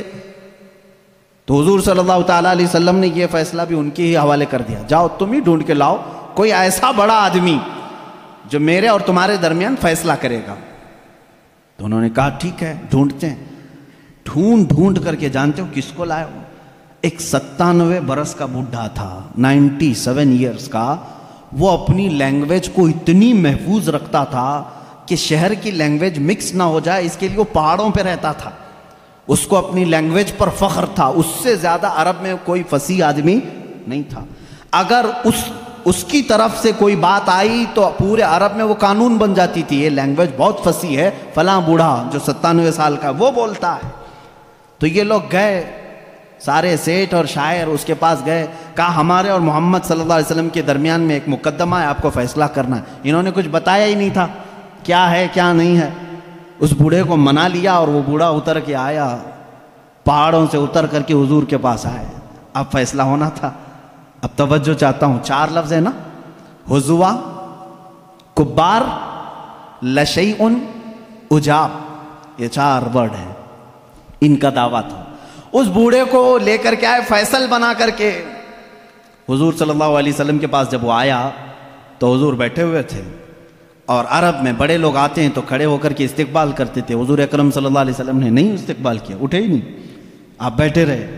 वो बूढ़ा आया, देखता रहा और उसके बाद आकर के अपनी जगह बैठ गया। हजूर खड़े हो गए। वो जब बैठा, हजूर खड़े हो गए। वो बिचक करके फिर खड़ा हो गया। बूढ़ा था हजूर सल्लल्लाहु अलैहि वसल्लम बैठ गए। फिर वो भी बैठा। थोड़ी देर वो इधर बैठा तो मेरे आका सल्लल्लाहु अलैहि वसल्लम ने फरमाया, नहीं नहीं नहीं, इधर इधर आके बैठो। उसको उठाया, फिर इधर बैठाया। थोड़ी देर अभी वो बैठा था, फिर हुजूर ने फरमाया, यहाँ नहीं, इधर आके बैठो। इधर ही ठीक था। उसको फिर इधर उठाया। भाई, सत्तानवे साल के बूढ़े को अगर बार बार उठाओगे, बिठाओगे, सनक जाएगी। क्या होगा? फिर उसके बाद उसको हजूर ने कहा, तीसरी मरतबा। अरे नहीं, आमने सामने बात करना अच्छा यहाँ से उठो, सामने आओ। अरे मियाँ, अब तो उसकी हालत खराब हो गई उठा और गुस्से में बोलने लगा, या मोहम्मद, इन्नी शेखुन कुब्बार अतखिजुनी हुजुआ व इन मिनकुम हादा लशैउन उजाब।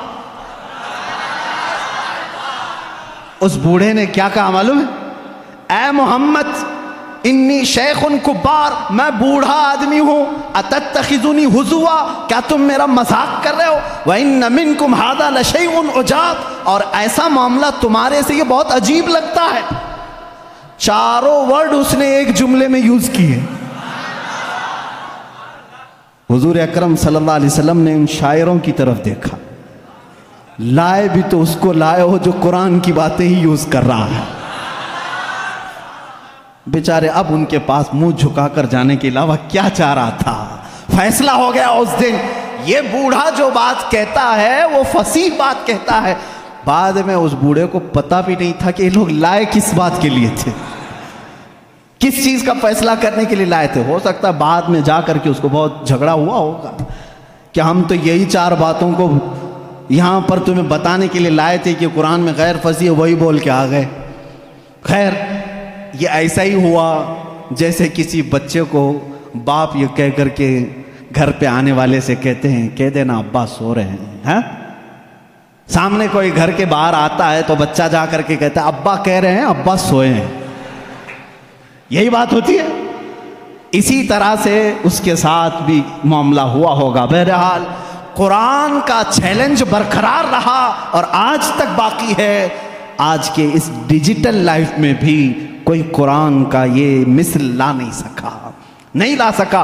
वो किताब तुम्हारे पास है मेरे अजीज़ों। अल्लाह रब्बुल इज़्ज़त ने इस किताब के अंदर कितने ओलूम का समंदर रखा है, कभी आपने सोचा है? ये वो लोग थे जो अरब ला नहीं सके, लेकिन जो समझ बूझ रखते थे, उन्होंने कुरान का मुताला शुरू किया और इसमें से जवाहर निकाले, मोतियाँ निकाली। अब मुख्तसर मुख्तसर मैं ज़िक्र करता चला जाऊँगा। सारे ओलूम कुरान में हैं। मैं उसको कॉलेज के जो स्टूडेंट्स हैं, या जो प्रोफेसर्स हैं, या जो लेक्चरर हैं, या जो डॉक्टर्स हैं इंजीनियर हैं, जो भी हैं, वो आज मेरी इस तकरीर के मुखातब हैं। सुनो, कुरान पाक में वो ओलूम जिसकी ईजाद आज के ज़माने में कही जाती हो, मैं चौदह सदियों पहले की इन आयात में तुम्हें ज़ाफ, वाजह बता सकता हूँ कि कौन कौन से ओलूम कुरान में आए हैं। आपने पहले शायद पहले दिन ही सुना होगा ऑस्ट्रोनॉमी ये वो इल्म है जो इल्मुल फलकियात जिसको कहते हैं। आसमान, कायनात का इल्म, कायनात का इल्म। आसमानों में क्या है, गैलेक्सी में क्या है, और कैसे दुनिया वजूद में आई, इस इल्म के जानने वाले ऑस्ट्रोनॉमी कहलाए जाते हैं। ऑस्ट्रोनॉमी के बेसिक फार्मूले कुरान पाक में है। जानते हैं आप ऑस्ट्रोनॉमी की सबसे बड़ी तहकीक क्या है? इन साइंसदानों की सबसे बड़ी तहकीक ये है कि एक शख्स है अंग्रेज़ों का, जिसको ये कहा गया स्टीफन हॉकिंग। ये 1925 की बात है, जिसने सबसे पहले ये कहा कि कायनात फैल रही है। 1925 में 1925 में सबसे पहले उसने ये कहा, मैं देख रहा हूँ गैलेक्सी में स्टार्स दूर दूर हो रहे हैं और फैल रही है ये कायनात। उसने वसात कायनात का नज़रिया सबसे पहले दिया। और कुरान कहता है वह समा बनैना हा व दिन व इन्ना लमूसिन आसमान को हमने अपने दस्ते कुदरत से बनाया है और इसको हम क़यामत तक फैलाते रहेंगे। कुरान कह रहा है, इसको हम फैलाते रहेंगे। और ये है ऑस्ट्रोनॉमी के लिए, ये जो, जिसका नाम मैंने लिया है, स्टीफन हॉकिंग, इसने कहा, ये बीसवीं सदी की सबसे बड़ी तहकीक है। सबसे बड़ी तहकीक है। मुझे मालूम नहीं, चौदहवीं सदी में, चौदह सदी पहले ही ये तहकीक अल्लाह के कलाम में आ चुकी। अजीज़ान गिरामी, और ये आपको बिग बैंग का जो मैंने बताया था, फ़र्स्ट डे, आपने सुना होगा, इस ज़माने में नहीं, बल्कि ये बिग बैंग का जो वो लाया है, जिसने ऑस्ट्रोनॉमी में, जो सबसे पहले साइंसदान ने कहा कि पहले ये ज़मीन, आसमान, सब चीज़ें एक ही थी, एक बड़ा धमाका हुआ, उससे पूरी कायनात फैली। इनका अब जाकर के ये नज़रिया हुआ कि एक बड़ा धमाका हुआ, उसके बाद सब चीज़ें अलग हो गई। चाँद अलग हुआ, तारे अलग हुए, और सूरज अलग हुआ, ज़मीन अलग, आसमान अलग। इस थ्योरी को कुरान ने खुद बयान किया है। अवलम यरल्लदीन कफरू अन्न समावाति वल अर्द खानता रतखन फफतकनाहुमा। अल्लाह फरमाता है, ए महबूब, क्या नहीं देखते वो काफिर? काफिर अब भी इनकार कर रहे हैं। ज़मीन और आसमान मिले हुए थे, हमने उनको फाड़ करके अलग किया। फतक ना होमा, फतक कहते हैं, ऐसा ज़ोर का, धमाका होना और झटका देना, जिससे सारी चीज़ें बिखर जाएँ। और कुरान ने इस बिग बैंग का ज़िक्र किया है। यह और बात है कि इसकी तहकीकात और होती रहेंगी। एस्ट्रोलॉजी जिसमें इल्म नजूम है, उसके मुतालिक भी मैंने बताया था। कि सितारों के मुतालिक ब्लैक होल का तस्करा सूर्य वाक़ में मौजूद है। अल्लाह फरमाता ला उकसिम भी मवाक़ नजूम। कसम है, उन जगहों की जहाँ जा कर के सितारे फना हो जाते हैं, उसको आज साइंसदान ब्लैक होल कहते हैं। यह ऑस्ट्रोलॉजी है और बोटानी जानते होंगे आप, इल्म नबातात, पौधों का इल्म। ये एक पूरा बाजाबता एग्रीकल्चर इस पर तो यूनिवर्सिटियाँ कायम हैं। जिसमें पौधों की नशो नुमा के मुतालिक तहकीकात होती है और कुरान उसकी तमाम तफसीलात बता रहा है, वमिन कुल्ल तमराती जालफ़ीहा जौजैन इतनईन अल्लाह फरमाता, हर फल में हमने मेल और फीमेल रखा है। आज के साइंस कह रहा है, हर दरख्त में मेल और फीमेल होते हैं। ये कुरान के वलूम है। बोटानी इस इल्म को कहते हैं। आप मेरे पास स्टूडेंट्स होंगे कोई एग्रीकल्चर के? दरख्तों के पेड़ पौधों के, मामूलात के सिलसिले में कुरान की एक नहीं, दस आयतें मैं तुम्हारे सामने पेश करूँगा। इसके अलावा जूलोजी ऑस्ट्रोलॉजी के अलावा जूलोजी जूलोजी जानवरों का इल्म, हैवानात का इल्म।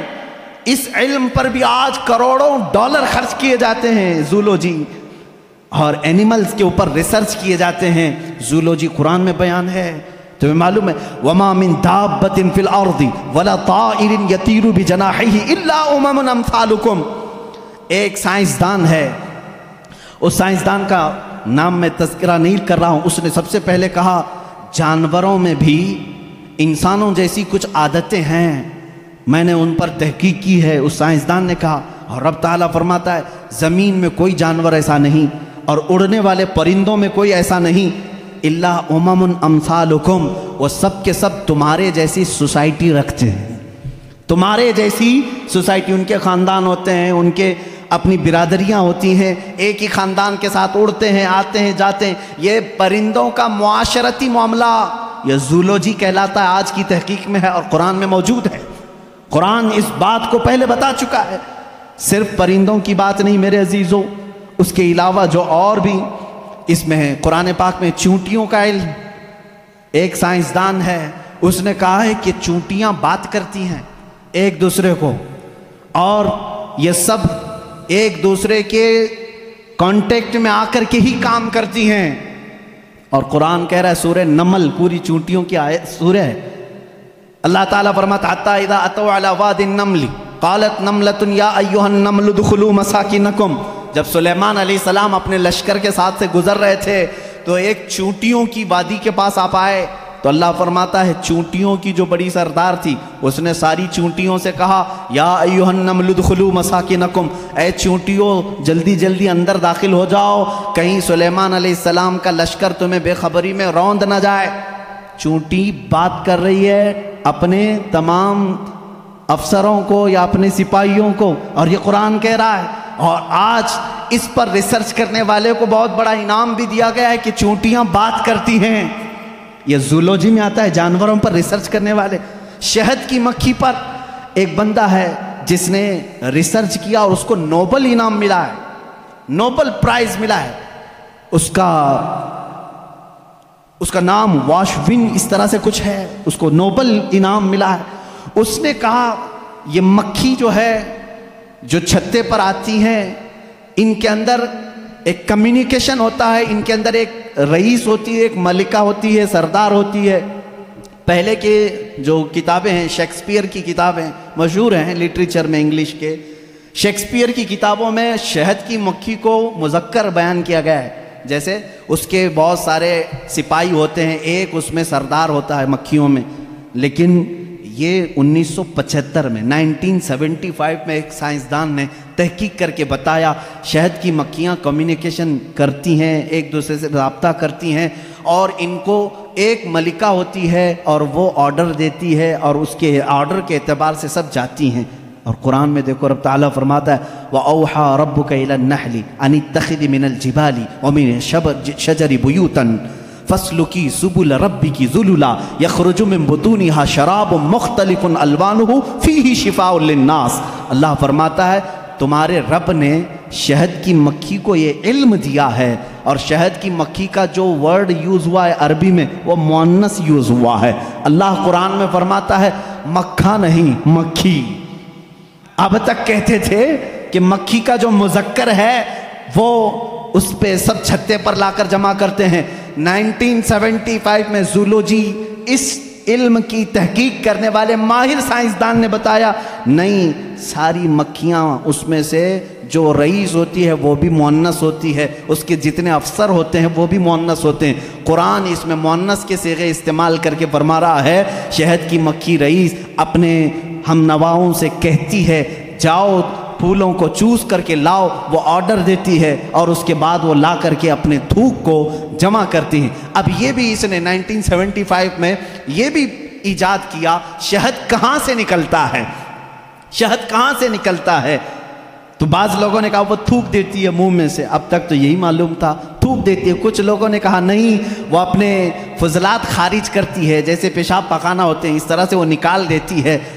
1975 में एक साइंसदान ने कहा, नहीं, उसकी बेली में से, बेली फैट जो होता है, पेट की चर्बी यहाँ से निकलता है। रब ताला फरमा रहा है, यखरुज मिम्बतूनी हा हम शहद उसके पेट की चर्बी से निकालते हैं। जूलोजी की यह तहकीक 1975 में हुई और कुरान अजीम उस वक्त फरमा रहा है, हम शहद की मक्खी के पेट में से नहायत ही मीठी गज़ा तुम्हारे लिए निकालते हैं। इसमें अल्लाह की निशानियाँ हैं। और ख़ुद मौला ने फरमाया शिफा उल्लास इसमें पूरी तुम्हारे लिए, इंसानों के लिए शिफा है। और इतना ही नहीं, मेरे अजीज़ों, ये डंक मारे तो जहर है, लेकिन अपने शहद के छत्ते में जाकर छोड़ दे, अपने पेट की गज़ा तो दुनिया की सबसे अजीम गज़ा है। एक ही चीज़ में दो चीज़ें हैं। और इसके अलावा जानवरों पर बहुत सारे, कि अल्लाह ताला फरमत, अफला बिली कई फ़लक़त तुम नहीं देखते कि ऊँटों को अल्लाह ने कैसे पैदा किया? तो जूलोजी के से ताल्लुक़ रखने वाले स्टूडेंट से मैं कहता हूँ, ऊँटों की पैदाइश पर तुम भी रिसर्च करते होंगे। आज तकरीबन ये कॉलेजों में पढ़ाया गया है जूलोजी के स्टूडेंट्स को। कि तमाम मखलूक़ में ऊँट की तख्लीक एक सबसे अलग है, इसलिए कि इसके अंदर ऐसा मादा है, एक महीने तक बगैर खाए पिए ज़िंदा रहता है, पानी जमा कर लेता है, और रब ताला फरमा रहा है, सारे जानवरों में इसकी तख्लीक अलग की गई है। तुम नहीं देखते ऊँटों की तरफ़? कुरान पाक में जूलॉजी का एक पूरा चैप्टर मुझे अलग करके आपको बताना पड़ेगा। बहुत सारी चीज़ें, परिंदों का इल्म, चूंटियों का इल्म हती कि अल्लाह ताला ने मकड़ी के मुतालिक भी बयान फरमाया। मकड़ी का जाला इतखजत बैता व इन ओ हनल बुयूती बैतुल अनकबूत।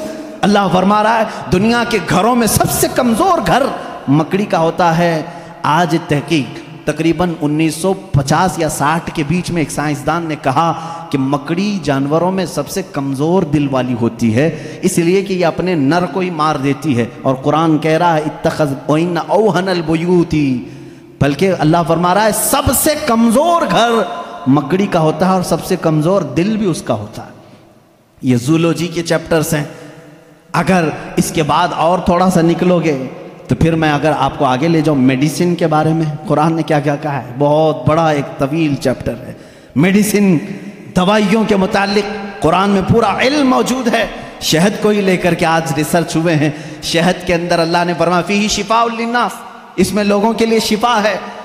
और वर्ल्ड वार टू के टाइम पे सेकेंड वर्ल्ड वार के दरमियान, अक्सर जख्मियों को शहद लगा करके सही किया गया। आज भी जो जदीद तरक्की याफ्ता कंट्रीज़ हैं, उनके यहाँ शहद पर रिसर्च अभी भी चल रहा है और इन्होंने कहा है कि इसमें विटामिन के पाया जाता है जो किसी दूसरी चीज़ में होता ही नहीं है। ये ज़ख्मों को बहुत जल्दी ख़त्म कर देता है और ज़ख्मों पर फंगस आने नहीं देता इन्फेक्शन आने नहीं देता। रफ फरमा रहा फ़ी ही शिफाउलनास मेडिसिन का तस्करा क्या कुरान में नहीं मिलता? मेडिकल के स्टूडेंट्स और अगर आगे आएँ तो मैं एम्ब्रियालॉजी के मुतालिक बताऊँ आपको। एम्ब्रियालॉजी क्या है ये? इल्मुल जनीन, बच्चे की विलादत के जो मामला होते हैं, इसको एम्ब्रियालॉजी कहते हैं। डॉक्टर्स होंगे, वो समझेंगे हमारी बात को। एम्ब्रियालॉजी एक पूरा का पूरा इल्म है। और इन्हीं की बातों से मैं आपको बताऊँ एम्ब्रियालॉजी में कहा गया है कि सबसे पहले पानी का एक कतरा मर्द के नुतफे से गाकर माँ के रहम मादर में जमा होता है। पहले कुरान की आयतें पढ़ो। वलकद खलकनल इंसान मिन सुलालत मिन तीन तुम नुतफ़त अलक़तन फ़खलकन अलक़त मुदगतन फ़खलकन मुदगत इदामन फ़कसौन लहमा। अल्लाह ताला ने इस आयत को, इस तरह की आयत को तीन या चार मरतबा इंसान की तख्लीक कैसे हुई? रब फरमाता है अल्लाह ताला ने नुतफ़े से तुम्हें पैदा किया, नुतफ़े से। अच्छा मैं एक डॉक्टर साहब से बात हो रही थी। उन्होंने कहा, पूरा नुतफ़ा जो होता है इंसान का, मनी जो मर्द की होती है, इसमें एक बार की मनी में तकरीबन तीस लाख स्पम होते हैं। जो जरासीम, जिसको कीड़ा ये लोग कहते हैं, जो जा करके औरत के ओम में, यानी उसके बैजे होते हैं, अंडे होते हैं, उसमें टकराता है और जा कर के फिक्स हो गया अगर एक जरासीम। एक कीड़ा, एक स्पम का तो फिर बच्चे की विलादत वहाँ से शुरू होती। है तो उन्होंने कहा कि तीस लाख में से एक ही जाता है। तीस लाख में से एक ही जाता है। और रब ताला के इस कलाम पर कुर्बान जाओ, अल्लाह फरमाता है, सुलालतिम महीन, कि जब तुम नुतफ़ा डालते हो तो बहुत सारे पानी में से जो असल होता है मौला उसी से पैदा करता है। सुलाला कहते हैं, सबसे कीमती चूज़, चीज़, उसमें से जो असल है, उसी से पैदा करता है। तीस लाख अगर स्पम में जरासीम आए हो, सिर्फ़ एक ही से पैदा किया जाता है। फिर उसके बाद अल्लाह ताला ने फरमाया, हम उसके ज़रिए से अलका बनाते हैं। अलका क्या है? मुदगा क्या है? अलका बस्ता खून है। बस्ता खून मतलब खून जैसे होता है। मैंने एक डॉक्टर से पूछा, इसमें ही इंटरनेट पर तो उन्होंने एक तहकीक मुझे भेजी कि एम्ब्रियालॉजी के शुरू के दिनों में यह होता है कि जैसे जोंक होती है ना, जोंक एक कीड़ा है, चिपक जाए तो छोड़ता नहीं है। तो अलका कुरान में ज़िक्र है, मैं उस पर पढ़ रहा था, अलका जैसे चिंगम वाली चीज़ होती है, चिपकने वाली, अगर खून के चिपकने वाले हिस्सा कोई बन गया तो उसको अलका कहते हैं। और आज डॉक्टर्स कह रहे हैं नुतफे के बाद अगर सबसे पहले बच्चे में कुछ बनता है तो वो गम टाइप का एक खून बनता है, जिसको कुरान बता रहा है। ये सारी चीज़ें सोनोग्राफी के बाद मालूम होती हैं। स्कैन करने के बाद मालूम होती हैं। और उसके बाद मुदगा है, गोश्त का एक लोथड़ा। उसमें अल्लाह ताला ने जो मुदगा लफ्ज इस्तेमाल फरमाया, इसका मतलब क्या है? ये भी डॉक्टर्स इसकी भी तस्लीम करेंगे। एक बहुत बड़ा साइंसदान है, उससे पूछा गया थर्ड स्टेज एम्ब्रियोलॉजी स्टेजेस में से थर्ड स्टेज क्या है? तो उसने एक लंबा सा आटा या कुछ चिंगम लिया, उसको दांतों में रखा, चबा करके दिखाया। एक लंबा कीड़ा और उस पर दांतों के निशान। दांतों के निशान। डॉक्टर्स जब स्कैनिंग करेंगे तो उनको ये पता चलेगा कि पहले माँ के पेट में एक लंबी चीज़ बनी जिस पर दांतों के निशान जैसे। कुरान ने मुदगा कहा। मुदगा क्या चीज़ है? जब अरबी में उसका तर्जुमा देखा गया तो ऐसी चीज़ जो लंबी हड्डी हो और उसमें जगह जगह से काटा गया हो। मुदगा उसको कहते हैं और डॉक्टर्स कुल सौ फ़ीसद इत्तेफाक करते हैं कि थर्ड स्टेज में जब ये बच्चे की विलादत आती है तो उसकी सिर्फ़ रीढ़ की हड्डी बनी होती है जो पीठ पर है, जिसमें जगह जगह गांठ है। ऐसा लगता है जैसे किसी ने किसी चीज़ को चबाया। ये कुरान में एम्ब्रियालॉजी का फलसफा मौजूद है। अगर ये स्टेजेस में बताऊँ, नौ महीने तक बोलना पड़ेगा ना। बच्चे की विलादत नौ महीने बाद होती है। एम्ब्रियालॉजी के बहुत सारी चीज़ें हैं। और अल्लाह, मैं आपको ये बताऊँ, सबसे पहले चीज़ क्या बनती है इंसान की? ये भी तहकीकात, साइंस कर चुका है। सबसे पहले बच्चे के नुतफ़े के बाद अलका, मुदगा और उसके बाद उस पर चमड़ी आती है या जो भी। 27 वीक्स अगर 24 वीक्स होते हैं अगर। प्रेगनेंसी के तो सबसे पहले वो जनीन में सुनने की चीज़ आती है। क्या? सुनने की चीज़। उसके बाद उसके अंदर महसूस करने की, देखने वाली चीज़ आ जाती है। 27 वीक्स के बाद, फिर उसके बाद उसकी हार्ट बीट भी शुरू होती है। अब कुरान की आयत पढ़ो। अल्लाह फरमाता है वजाकुम वलबसारा वलअफ़िदा कलीलम्मा तशकुरून। हमने तुम्हारे तुम्हारे माँ के पेट में सबसे पहले सुनने की ताकत दी, देखने की ताकत दी, फिर धड़कने वाला दिल अदा की अल्लाह अल्लाह, ये तरतीब कहाँ से आई? ये उस ज़माने में कुरान नाजिल हुआ जहाँ कोई खुर्दबीन नहीं थी, कोई माइक्रोस्कोप नहीं था, कोई टेलीस्कोप नहीं था, कोई सोनोग्राफी नहीं थी, कोई स्कैनिंग सेंटर नहीं था। जब कुरान ये बता रहा है, वो लोग उस वक्त माओ के पेट में कैसे बात जान सकते थे? एक बहुत बड़ा साइंसदान है, उसके सामने एम्ब्रियालॉजी के तस्करे किए गए और कुरान की आयतें बताई गई। तो कहता है, शायद मोहम्मद सल्लल्लाहु अलैहि वसल्लम के पास कोई ऐसी बड़ी मशीन थी जिसको वो देख करके सब बताएँ। उनसे कहा गया, मियाँ, ये 1400 साल पहले की है। तो खुद हंसने लगा हाँ ये तो टेलीस्कोप, जो देखने वाली खुर्दबीन है माइक्रोस्कोप, ये तो सोलहवीं सदी में ईजाद हुई है। और उस वक्त जब ईजाद हुई तो बड़ी बड़ी चीज़ें ही खाली देख सकती थी, छोटी चीज़ों को देखा भी नहीं जाता। फिर उसने उठ करके ये कहा, फिर तो या तो ऊपर वाली कोई ताकत उनके साथ होगी। ये बातें अगर वो उस ज़माने में बताए हैं तो फिर कोई और ताकत होगी। ये कुरान के वलूम है मेरे अजीज़ों, पढ़ो इस कुरान को। क्या नहीं है इसके अंदर? अब मैं अगर एम्ब्रियोलॉजी हो गई बात, उसके अलावा और हाइड्रोलॉजी, ज़मीन के मामला पानी के, तबखीर का सबसे पहला मादा कुरान ने बताया। ये वाटर साइकिल के जो थ्योरी है, सबसे पहले जानते हैं आपको किसने पेश की है?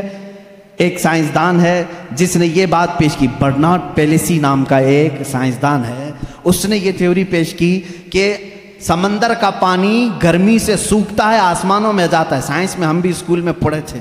धूप में पानी उड़ करके जाता है, फिर जमा होता है, फिर बारिश में आता है। यही है ना? ये वाटर साइकिल का जो निज़ाम है एवोपोरेशन इसको कहते हैं। ये सबसे पहले जो साइंसदान ने बर्नार्ड पेलिसी नाम का, उसने दिया। और वो भी 1580 में, सोलहवीं सदी में। अब आओ, कुरान क्या कहता है? कुरान कहता है वह समा इदात रज वल अर्द इदात सद वो आसमान जो हर चीज़ को वापस फिर से खींच लेता है।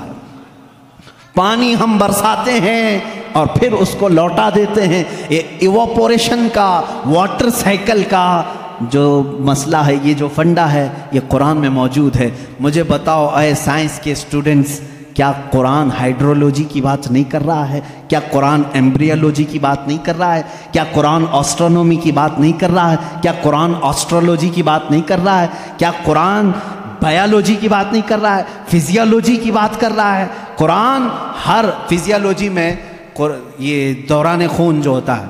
अभी आज एक बच्चे ने मुझे सवाल किया फिजिक्स पढ़ना कैसा है? इसमें अलग अलग थ्योरियाँ हैं मैं उसके लिए भी बता दूँ फिजिक्स फिजिक्स कुरान में मौजूद है।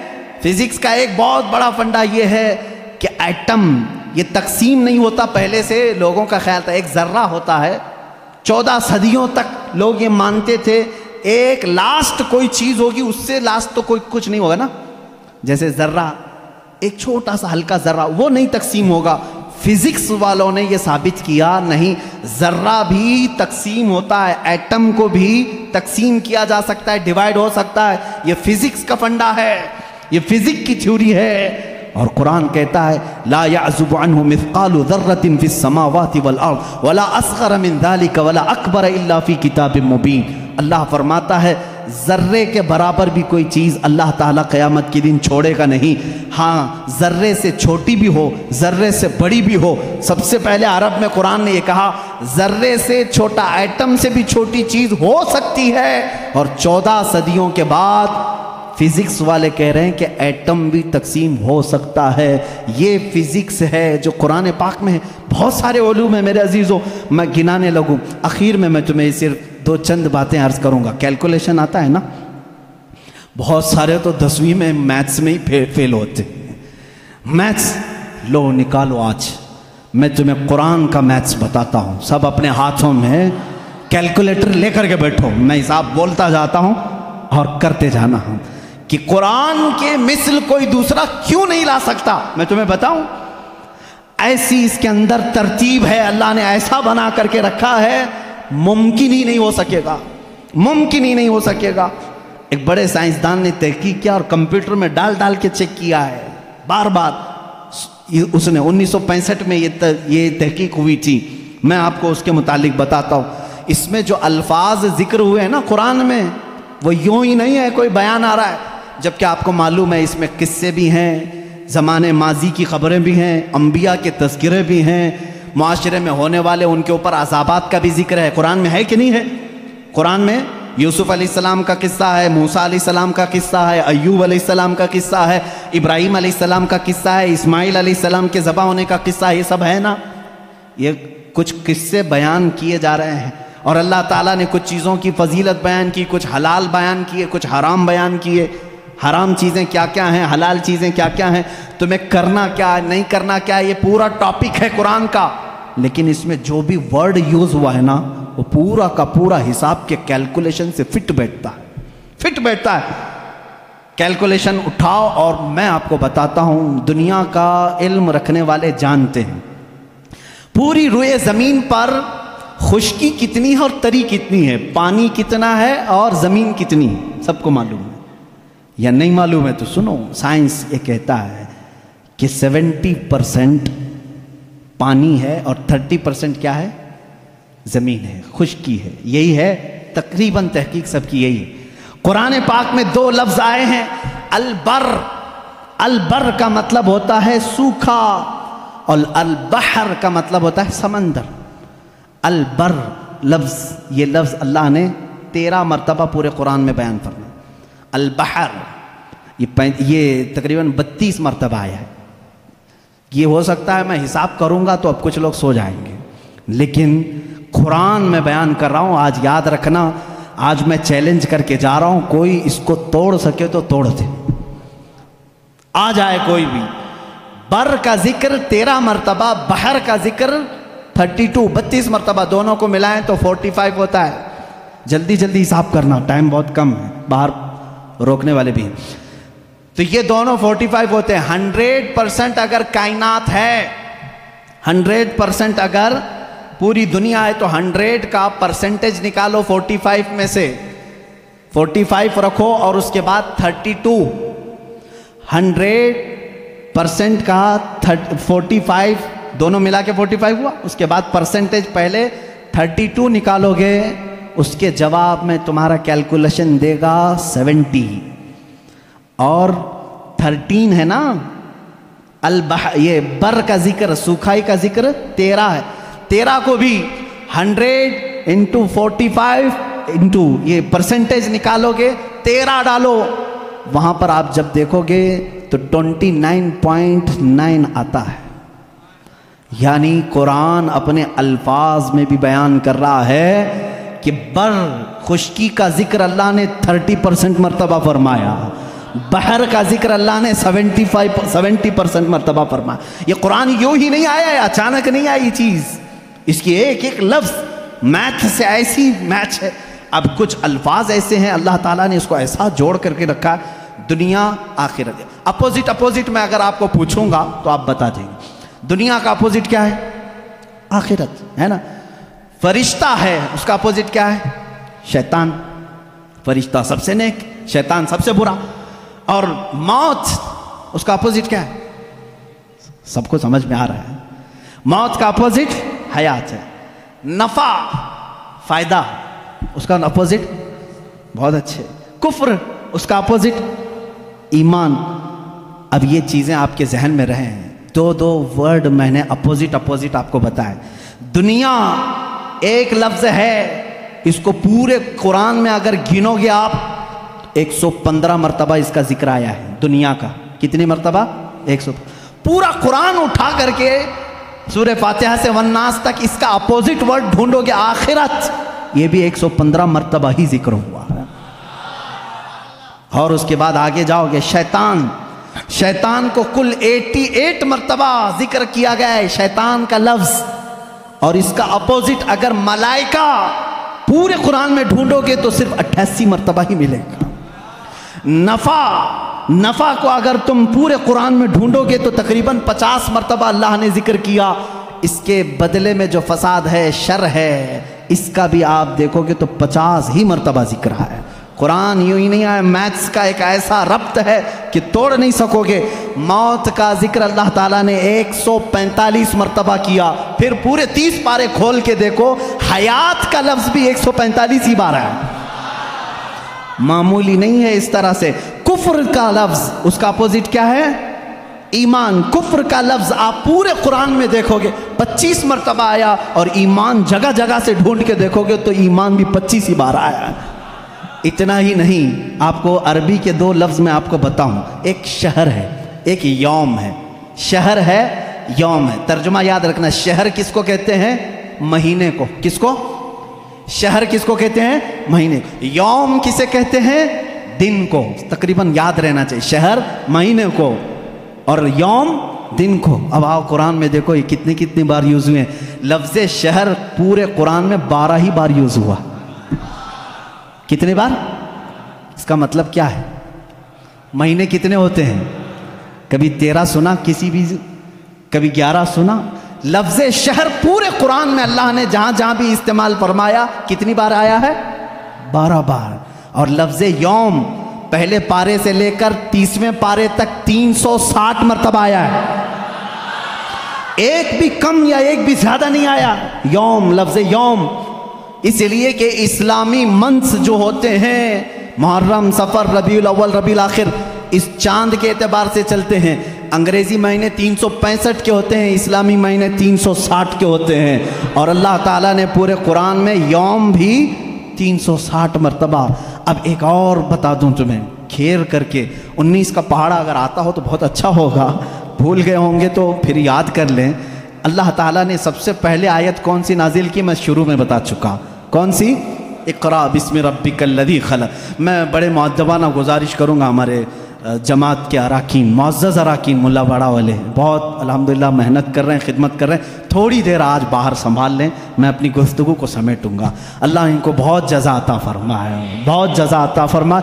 कुरान को छोड़ कर हटने का दिल भी नहीं करता है। मेरे अजीज़ों, अल्लाह ताला ने जो आयत सबसे पहले नाजिल फरमाई, वो क्या है? इकरा बिस्म रबिकल्लदी खलक। और सबसे आखिर में क्या नाजिल फरमाई? इदा जा नसरुल्लाही ये दोनों सूरत जहन में हैं। अब एक देखो सूर्य मुदस्सिर में एक आयत आई है, अलहा तिस अशर। अल्लाह ने एक लफ्ज़ ऐसा फरमाया, उसका तर्जुमा अक्सर आज तक लोगों ने अलग अलग किया, लेकिन किसी को हकीकत उसकी मालूम नहीं। अल्लाह ने फरमाया, उस पर उन्नीस हैं। किस पर उन्नीस हैं? सूर्य मुदस्सिर में आप जाएँगे उनतीसवें पारे में, अल्लाह ने फरमाया, उस पर उन्नीस हैं। कुछ लोगों ने तफसीर में कहा, उन्नीस फरिश्ते हैं जो जहन्नम को संभालें। कुछ ने कहा, उन्नीस फरिश्ते हैं जो अर्श को उठाएँ। कुछ ने कहा, उन्नीस फरिश्ते हैं जो आसमान से उतरते हैं। अलग अलग तफसीर है। उन्नीस क्या है, ये मालूम नहीं। तो एक महक्क ने उन्नीस का वर्ड कुरान में ढूंढना शुरू किया क्या क्या ढूंढ करके निकाला। अल्लाह अल्लाह, उनको भी अल्लाह जजा अता करे।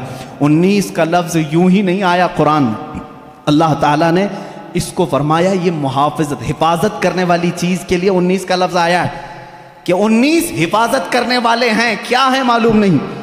अब मैं आपको बताऊँ, पूरे कुरान की सूरतों के शुरू में बिस्मिल्लाहिर्रहमानिर्रहीम है। है? बिस्मिल्लाहिर्रहमानिर्रहीम। और इसको कहा गया है, ये हर सूरे की चाबी है और चाबी से ही हिफाजत होती है। अब आओ, बिस्मिल्लाह को अगर तोड़ करके इसके हरूफ गिनो। बा, सीन, मीम, अलिफ, लाम लाम, हा, अलिफ, लाम, रा, हा, मीम, नून, अलिफ, लाम, रा, हा, या, मीम। कुल जोड़ोगे तो ये उन्नीस ही निकलते हैं। बिस्मिल्लाहिर्रहमानिर्रहीम में उन्नीस हर्फ आए हैं। कितने आए? उन्नीस हर्फ आए हैं, अब इतना ही नहीं, ये चाबी है हर सूर्य की। अल्लाह ने सिर्फ़ इतना फरमाया था, उस पर उन्नीस हैं हिफाजत करने वाले। क्या है? अभी ढूंढते जाओ, अभी ढूंढते जाओ। उन्नीस और मिलेगा तुम्हें। बिस्मिल्लाहिर्रहमानिर्रहीम। इसके पूरे कुल हरूफ कितने हैं? उन्नीस हैं। अब इतना ही नहीं, हर सूर्य के शुरू में ये चाबी रखी गई है, हिफाजत की। उन्नीस इसके अंदर हैं। अब इसमें से एक एक हर्फ को मैं अलग एक एक लफ्ज़ को अलग करता हूँ। इसम हो गया, अल्लाह हो गया, रहमान हो गया, रहीम हो गया। अब मैंने इसको भी तलाश किया कुरान पाक में। लफ्ज़ इसम कुरान में कितनी बार आया है? लफ्ज़ अल्लाह कुरान में कितनी बार आया है? लफ्ज़ रहमान कुरान में कितनी बार आया है? लफ्ज़ रहीम कुरान में कितनी बार आया है? तो जानते हैं, बिस्मिल्लाह के एक एक हर्फ को आपने अलग किया था तो कितने हुए थे? बा, सीन मीम ये सब कितने हुए थे? उन्नीस हुए थे। अब लफ्ज इस्म को पूरे कुरान में ढूंढोगे, इस्म पूरे कुरान में सिर्फ़ उन्नीस बार आया है। पूरे कुरान में कितनी बार आया मैथ्स वाले, उठाओ कैलकुलेटर, आगे चलो। लफ्ज रहमान, कुरान में 57 मरतबा आया। कितने? 57 मैं पाड़ा पढ़ता हूँ। उन्नीस इक्कीस, उन्नीस उन्नीस दो, अड़तीस, उन्नीस, तीन, सत्तावन।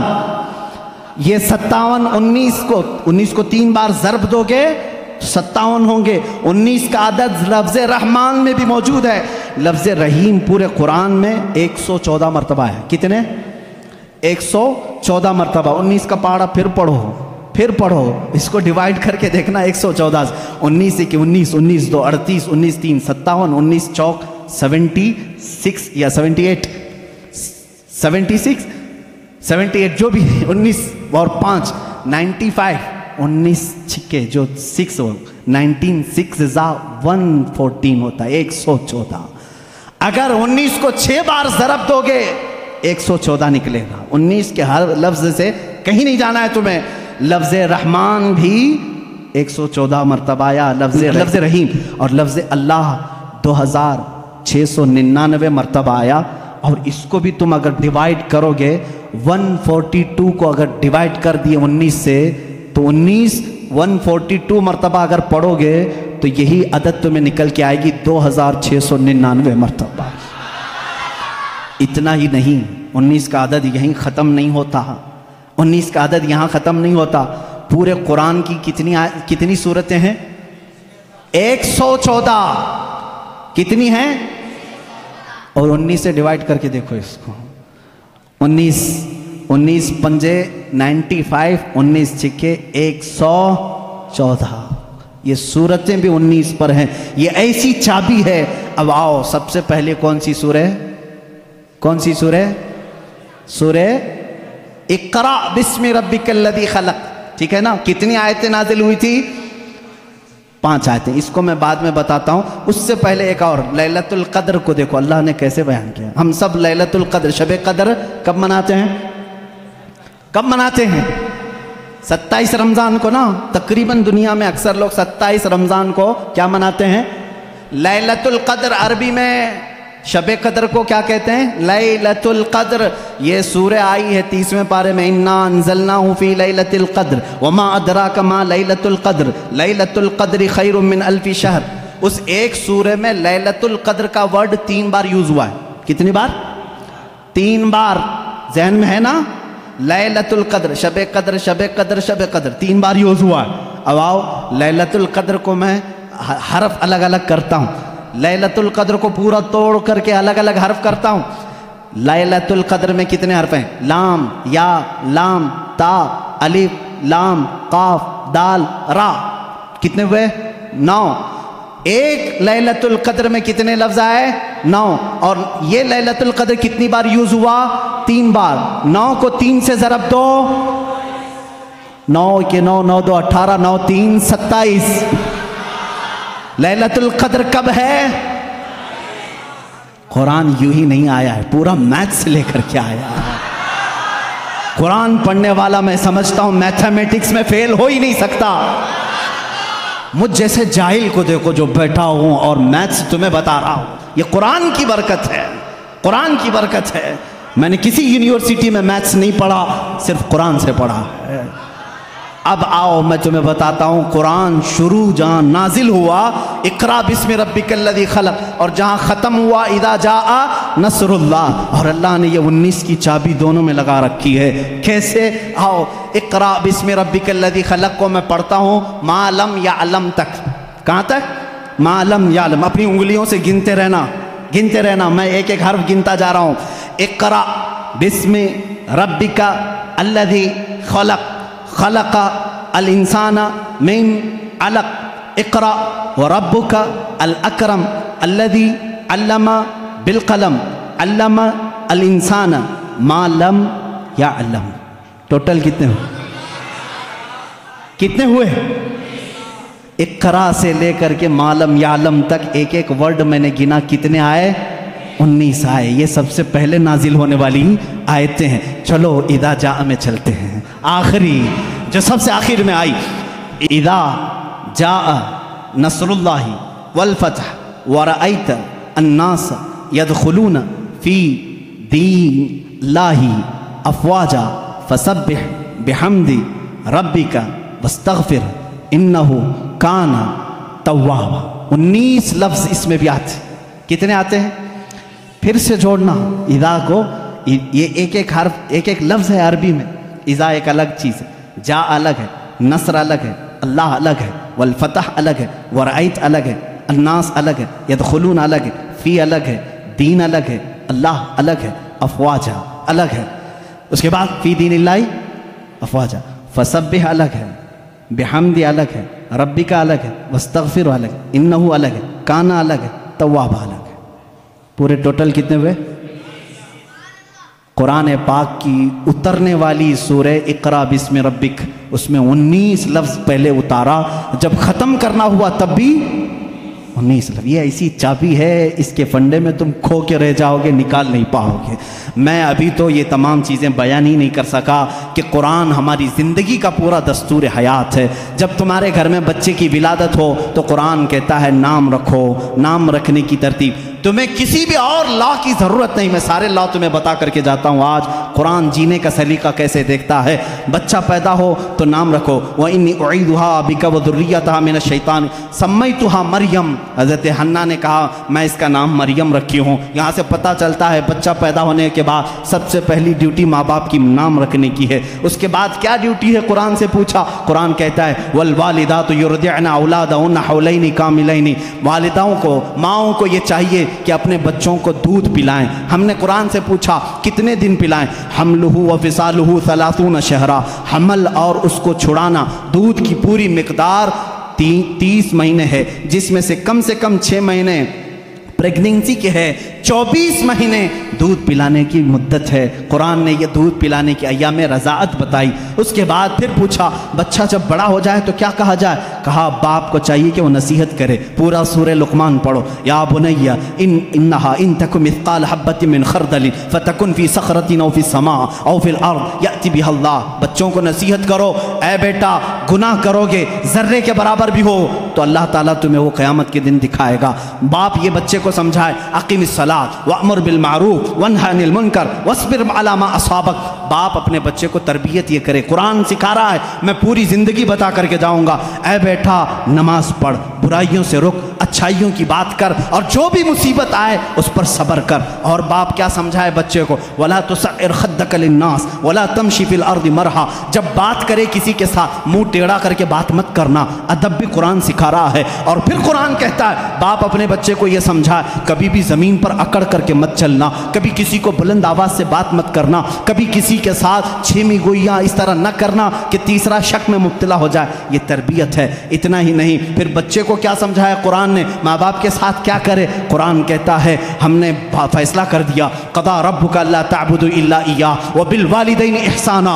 इम्मा यबलुगन इंदकल किबर अहदुमा किलाहुमा। फला तकुल्लहुमा उफ्फिन वला तनहरहुमा।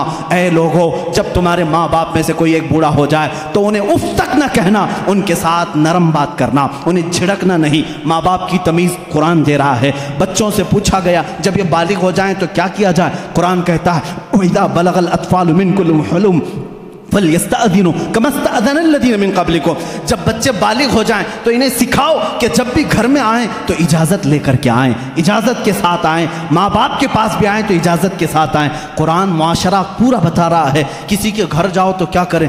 लब ताला फरमाता है, ला तदखलू बुयूतन गैर बुयूतिकुम हत्ता तस्तानिसु। अपने अलावा किसी घर, दूसरे घर जा रहे हो तो पहले सलाम कर लो, दरवाज़ा खटखटाओ। और अगर जवाब ना आए वह इनकील लकुमुर जियो वापस हो जाओ। इतना ही नहीं। कुरान ने शादी करने के बारे में भी कहा फ़न की हुमा ताबलकुम मिन निसाई, मसना, सुलासा व रुबा जब तुम बड़े हो जाओ इस्तात हो तो तुम निकाह करो। जो तुम्हें अच्छी औरत लगे, दो कर सकते हो, तीन कर सकते हो, चार कर सकते हो। तुम्हारे लिए कुरान ने शादी का निज़ाम बताया, और उसके बाद अल्लाह ने यह नहीं फरमाया कि करके छोड़ देना। कुरान ये कहता है, इन यकून फ़करा फजली तुम निकाह करके लाओ। अगर तुम फ़कीर हो तो मैं तुम्हें गनीब कर दूँगा। शादी का निज़ाम होने के बाद क्या अल्लाह अल्लाह ही करता रहे? सिर्फ़ नमाज़ ही पढ़ता रह जाए। नहीं, कुरान ने कहा, फ़ैदा कुदियत सला तो फन तशीरू फिलाब वब तक मिन फजल्ला जब नमाज़ हो जाए, बाहर निकलो, रोज़ी तलाश करो। हलाल रोज़ी तलाश करना नमाज़ के बाद सबसे बड़ा फ़र्ज़ काम है। तुम्हें कहा, तिजारत करो तिजारत करो और एक दूसरे के साथ मामला करें। तो हमने कुरान से पूछा, तिजारत कैसे करें? रब ताला फरमाता है, या अयोल्लदीना मनो इदा तदायन तुम बिदैन इला अजल मुसम्मन फक्तुबो। जब तुम किसी के साथ मामला करो तो लिख लिया करो। अगर लिखना नहीं आता, किसी और को बिठा करके उसे गवाह बनाओ, उससे लिखवा करके तिजारत करो। इतना ही नहीं, कर्ज के मामला आए, उसके लिए कुरान कह रहा है। तिजारत के मामला में कुरान ने कितना नफ़ा ले सकते हो, कितना ले नहीं सकते, ये सब चीज़ें बता रहा है। अब आओ, वो मामला जो तुम्हारे ज़िंदगी में आते हैं, बुराइयाँ जैसे, कुरान तुम्हारी आँखों पर पाबंदी लगा कर कह रहा है कुल्लिन यगुद्दुमिन अबसारिहिम व यहफदु फुरुजों ए महबूब, आप मोमिनों से कह दें, अपनी आँखें नीची रखें, अपनी शर्म निगाह की हिफाजत करें। औरतों को रब ताला फरमा रहा है, ऐ औरतें, अपनी निगाहें नीची रखें, अपने बदन को किसी के सामने ज़ाहिर ना करें। हाँ अगर तुम बेपर्दा हो सकती हो इल्लाबूलतिहिन्ना औ आबाहिन्ना औ इखवानिहिन्ना, औ बनी अखवातिहिन्ना, औ निसाइहिन्ना। सिर्फ़ तुम अपने शोहरों के पास, अपने बाप के पास, अपने भाइयों के पास, अपने भतीजों के पास, अपने भांजों के पास, उनके पास तुम बेपर्दा आ सकती हो। औरतों को ये माशरती सलूक बता रहा है। हमने पूछा कुरान से, शोहर और बीवी का आपस का ताल्लुक क्या होना चाहिए? कैसा होना चाहिए? कुरान कहता है, हुन्न लिबासुल्लकुम वन तुम लिबासुल्लहुन वो तुम्हारा लिबास है और तुम इनके लिबास हो। लिबास एक दूसरे के बदन को छुपाता है, मर्द औरतों के ऐबों को छुपाए, औरत अपने मर्दों के राजों को छुपाए। यही एक कामयाब ज़िंदगी की अलामत है। कुरान इतनी ही बात पर ख़त्म नहीं करता, बल्कि तुम्हें दुनिया में कितनी चीज़ लेना चाहिए, कितनी चीज़ छोड़ना चाहिए, वो भी कुरान कहता है। औलाद कहीं तुम्हें रब के साथ आने से फितना ना बन जाए। माल तुम्हारे लिए फितना ना बन जाए। इससे इतना ही लगाव रखना, जैसे समंदर में कश्ती तैरती है, सलामती से निकलती है। ये दुनिया समंदर है, तुम कश्ती में हो। अगर समंदर कश्ती में आ गया, पानी अंदर आ गया तो क्या होगा? डूब जाएगी। इसी तरह तुम दुनिया में खा पी करके चलो। अगर दुनिया तुम्हारे अंदर आ गई डूब जाओगे। रब ताला ने यह भी तुम्हें निज़ाम बताया। कितना दुनिया छोड़ सकते हो, कितना रह सकते हो यह भी निज़ाम कुरान तुम्हें बताता है। शादी के बाद, उसके बाद बुढ़ापे के मामला को भी कुरान कहता है, वमन नामिर हो नुनक्स हो, अफला ताकिल जब कोई बूढ़ा हो जाता है, हम उसको पुरानी यादें ले आते हैं, उसका बचपना लौटा देते हैं। बूढ़ा बार बार भूल जाता है। बूढ़े को पकड़ करके पेशाब ले जाना पड़ता है। बूढ़े को खिलाना पड़ता है जैसे बच्चों को खिलाना पड़ता है। बूढ़े को उठाना पड़ता है जैसे बच्चों को। पूरी चीज़ रिटर्न कर दी जाती है बुढ़ापे में। ये कुरान बचपन से लेकर के, पैदा होने से लेकर के मौत तक के हालात बता रहा है। इतना ही नहीं, बल्कि तुम्हारी वफात आ जाए, उसका तस्करा भी कुरान कहता है, मौत कैसे आती है? ऐसे कि अगर तुम देखो फरिश्तों को तो वो पेशानियों पर मारते हैं, पीठ पर मारते हैं, रूह को निकालते हैं। लेकिन अच्छे लोगों के साथ नहीं, कुफार के साथ। और जब अच्छे लोगों की मौत आती है, मेरा मौला फरमाता है, मैं पुकार कर कहता हूँ, या नफ्सुल मुतमइन्ना, इरजिई इला रब्बी की रादियतम मर्दिया, फदखुली फ़ी इबादी। वद खुली जन्नती। मैं कहता हूँ पाकिजा जान के मालिक आजा मैं भी तुझसे राज़ी हूँ, तू भी मुझसे राज़ी है। मेरे बंदों में शामिल हो जा, मेरी जन्नत में दाखिल हो जा। ये मौत तक का तस्करा हो गया। और उसके बाद जब कब्रों पर दफन कराते हो, वहाँ भी कुरान तुम्हारा साथ नहीं छोड़ता, बल्कि कहता है अल्लाकुमुत्तकासुर हत्ता सुरतुमुल मकाबिर ऐ लोगो, तुम्हें दुनिया कहीं गाफिल ना कर दे। तुम जाओ कब्रों की जियारत करो, देखा करो। वो आज बड़ी ताकत के बावजूद भी बेहिस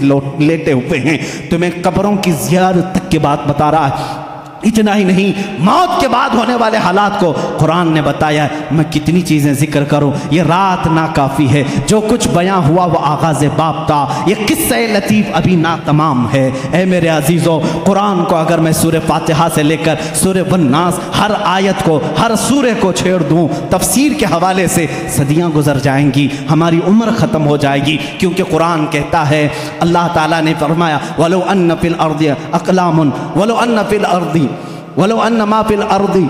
अल्लाह ताला फरमाते जो कुछ भी समंदर हैं, वो सियाई बन जाएँ, और जितने दरख्त हैं, वो कलम बन जाएँ, और इस कुरान की तारीफ़ लिखना चाहें, ये दरख्त टूट जाएँगे, समंदर सूख जाएगा, कुरान की तारीफ़ बयान नहीं हो सकेगी। आखिरी बातें हैं मेरे अजीज़ों, इन तमाम बातों को ज़िक्र करने के बाद एक सुन्नी उसी वक्त सैराब होता है, जब कुरान में अपने हबीब का जलवा देखता है। है लोगो, तुम पूछते क्यों नहीं? मौलाना, आपने कुरान को कहाँ से कहाँ तक बता दिया? सारी चीज़ें बताया कुरान में एस्ट्रोनॉमी है ऑस्ट्रोलॉजी है एम्ब्रियालॉजी है फिजिक्स है मैथ्स बताया साइंस बताया जोग्राफी बताया जियो फिजिक्स बताया। कभी ये क्यों नहीं पूछते? मेरा मोहम्मद कुरान में कहा है? मेरा आका कुरान में कहा है, मैं तुम्हें बताता हूँ, है, कुरान में है, आगाज़ से अखीर तक, कुरान है नाते मुस्तफ़ा, आगाज़ से आखिर तक, कुरान है नाते मुस्तफ़ा, महबूब के बयान का कैसा अनोखा ढंग है। कैसा अनोखा ढंग है, तुम्हें मालूम है, कुरान ने मेरे नबी करम सल्लल्लाहु अलैहि वसल्लम की सिफा कैसे बयान की है? मुझे बात याद आती है कि कुरान को अगर कोई सही इश्क के साथ पढ़े तो उसे अपने हबीब के देखने की जो तमन्ना है, वो पूरी हो जाएगी। रसूल का जलवा उसे नज़र आएगा। ये मैं नहीं कहता, आयशा सिद्दीक़ा तला से किसी ने पूछा, ए आयशा, आप रसूलुल्लाह के साथ बहुत रही हैं, ज़रा मेरे आका का होलिया बताएँ। हज़रत आयशा कहती है, कान कुरान जाओ कुरान पढ़ो तुम्हें मेरे आका के पूरे अखलाक नज़र आएँगे। मैं तुम्हें बताऊँ, अल्लाह अल्लाह, ए मेरे सुन्नी मुसलमानों, अगर तुम पूछते हो, मेरे नबी की कुछ तस्करें कर दो, कुरान सारे उलूम बता रहा है, क्या मेरे नबी की भी बात बता रहा है? हाँ कुरान को जब तुम पूछोगे मेरे रसूल का चेहरा कैसा था, वो कहेगा, पढ़ व दुहा, वो लीदा सजा।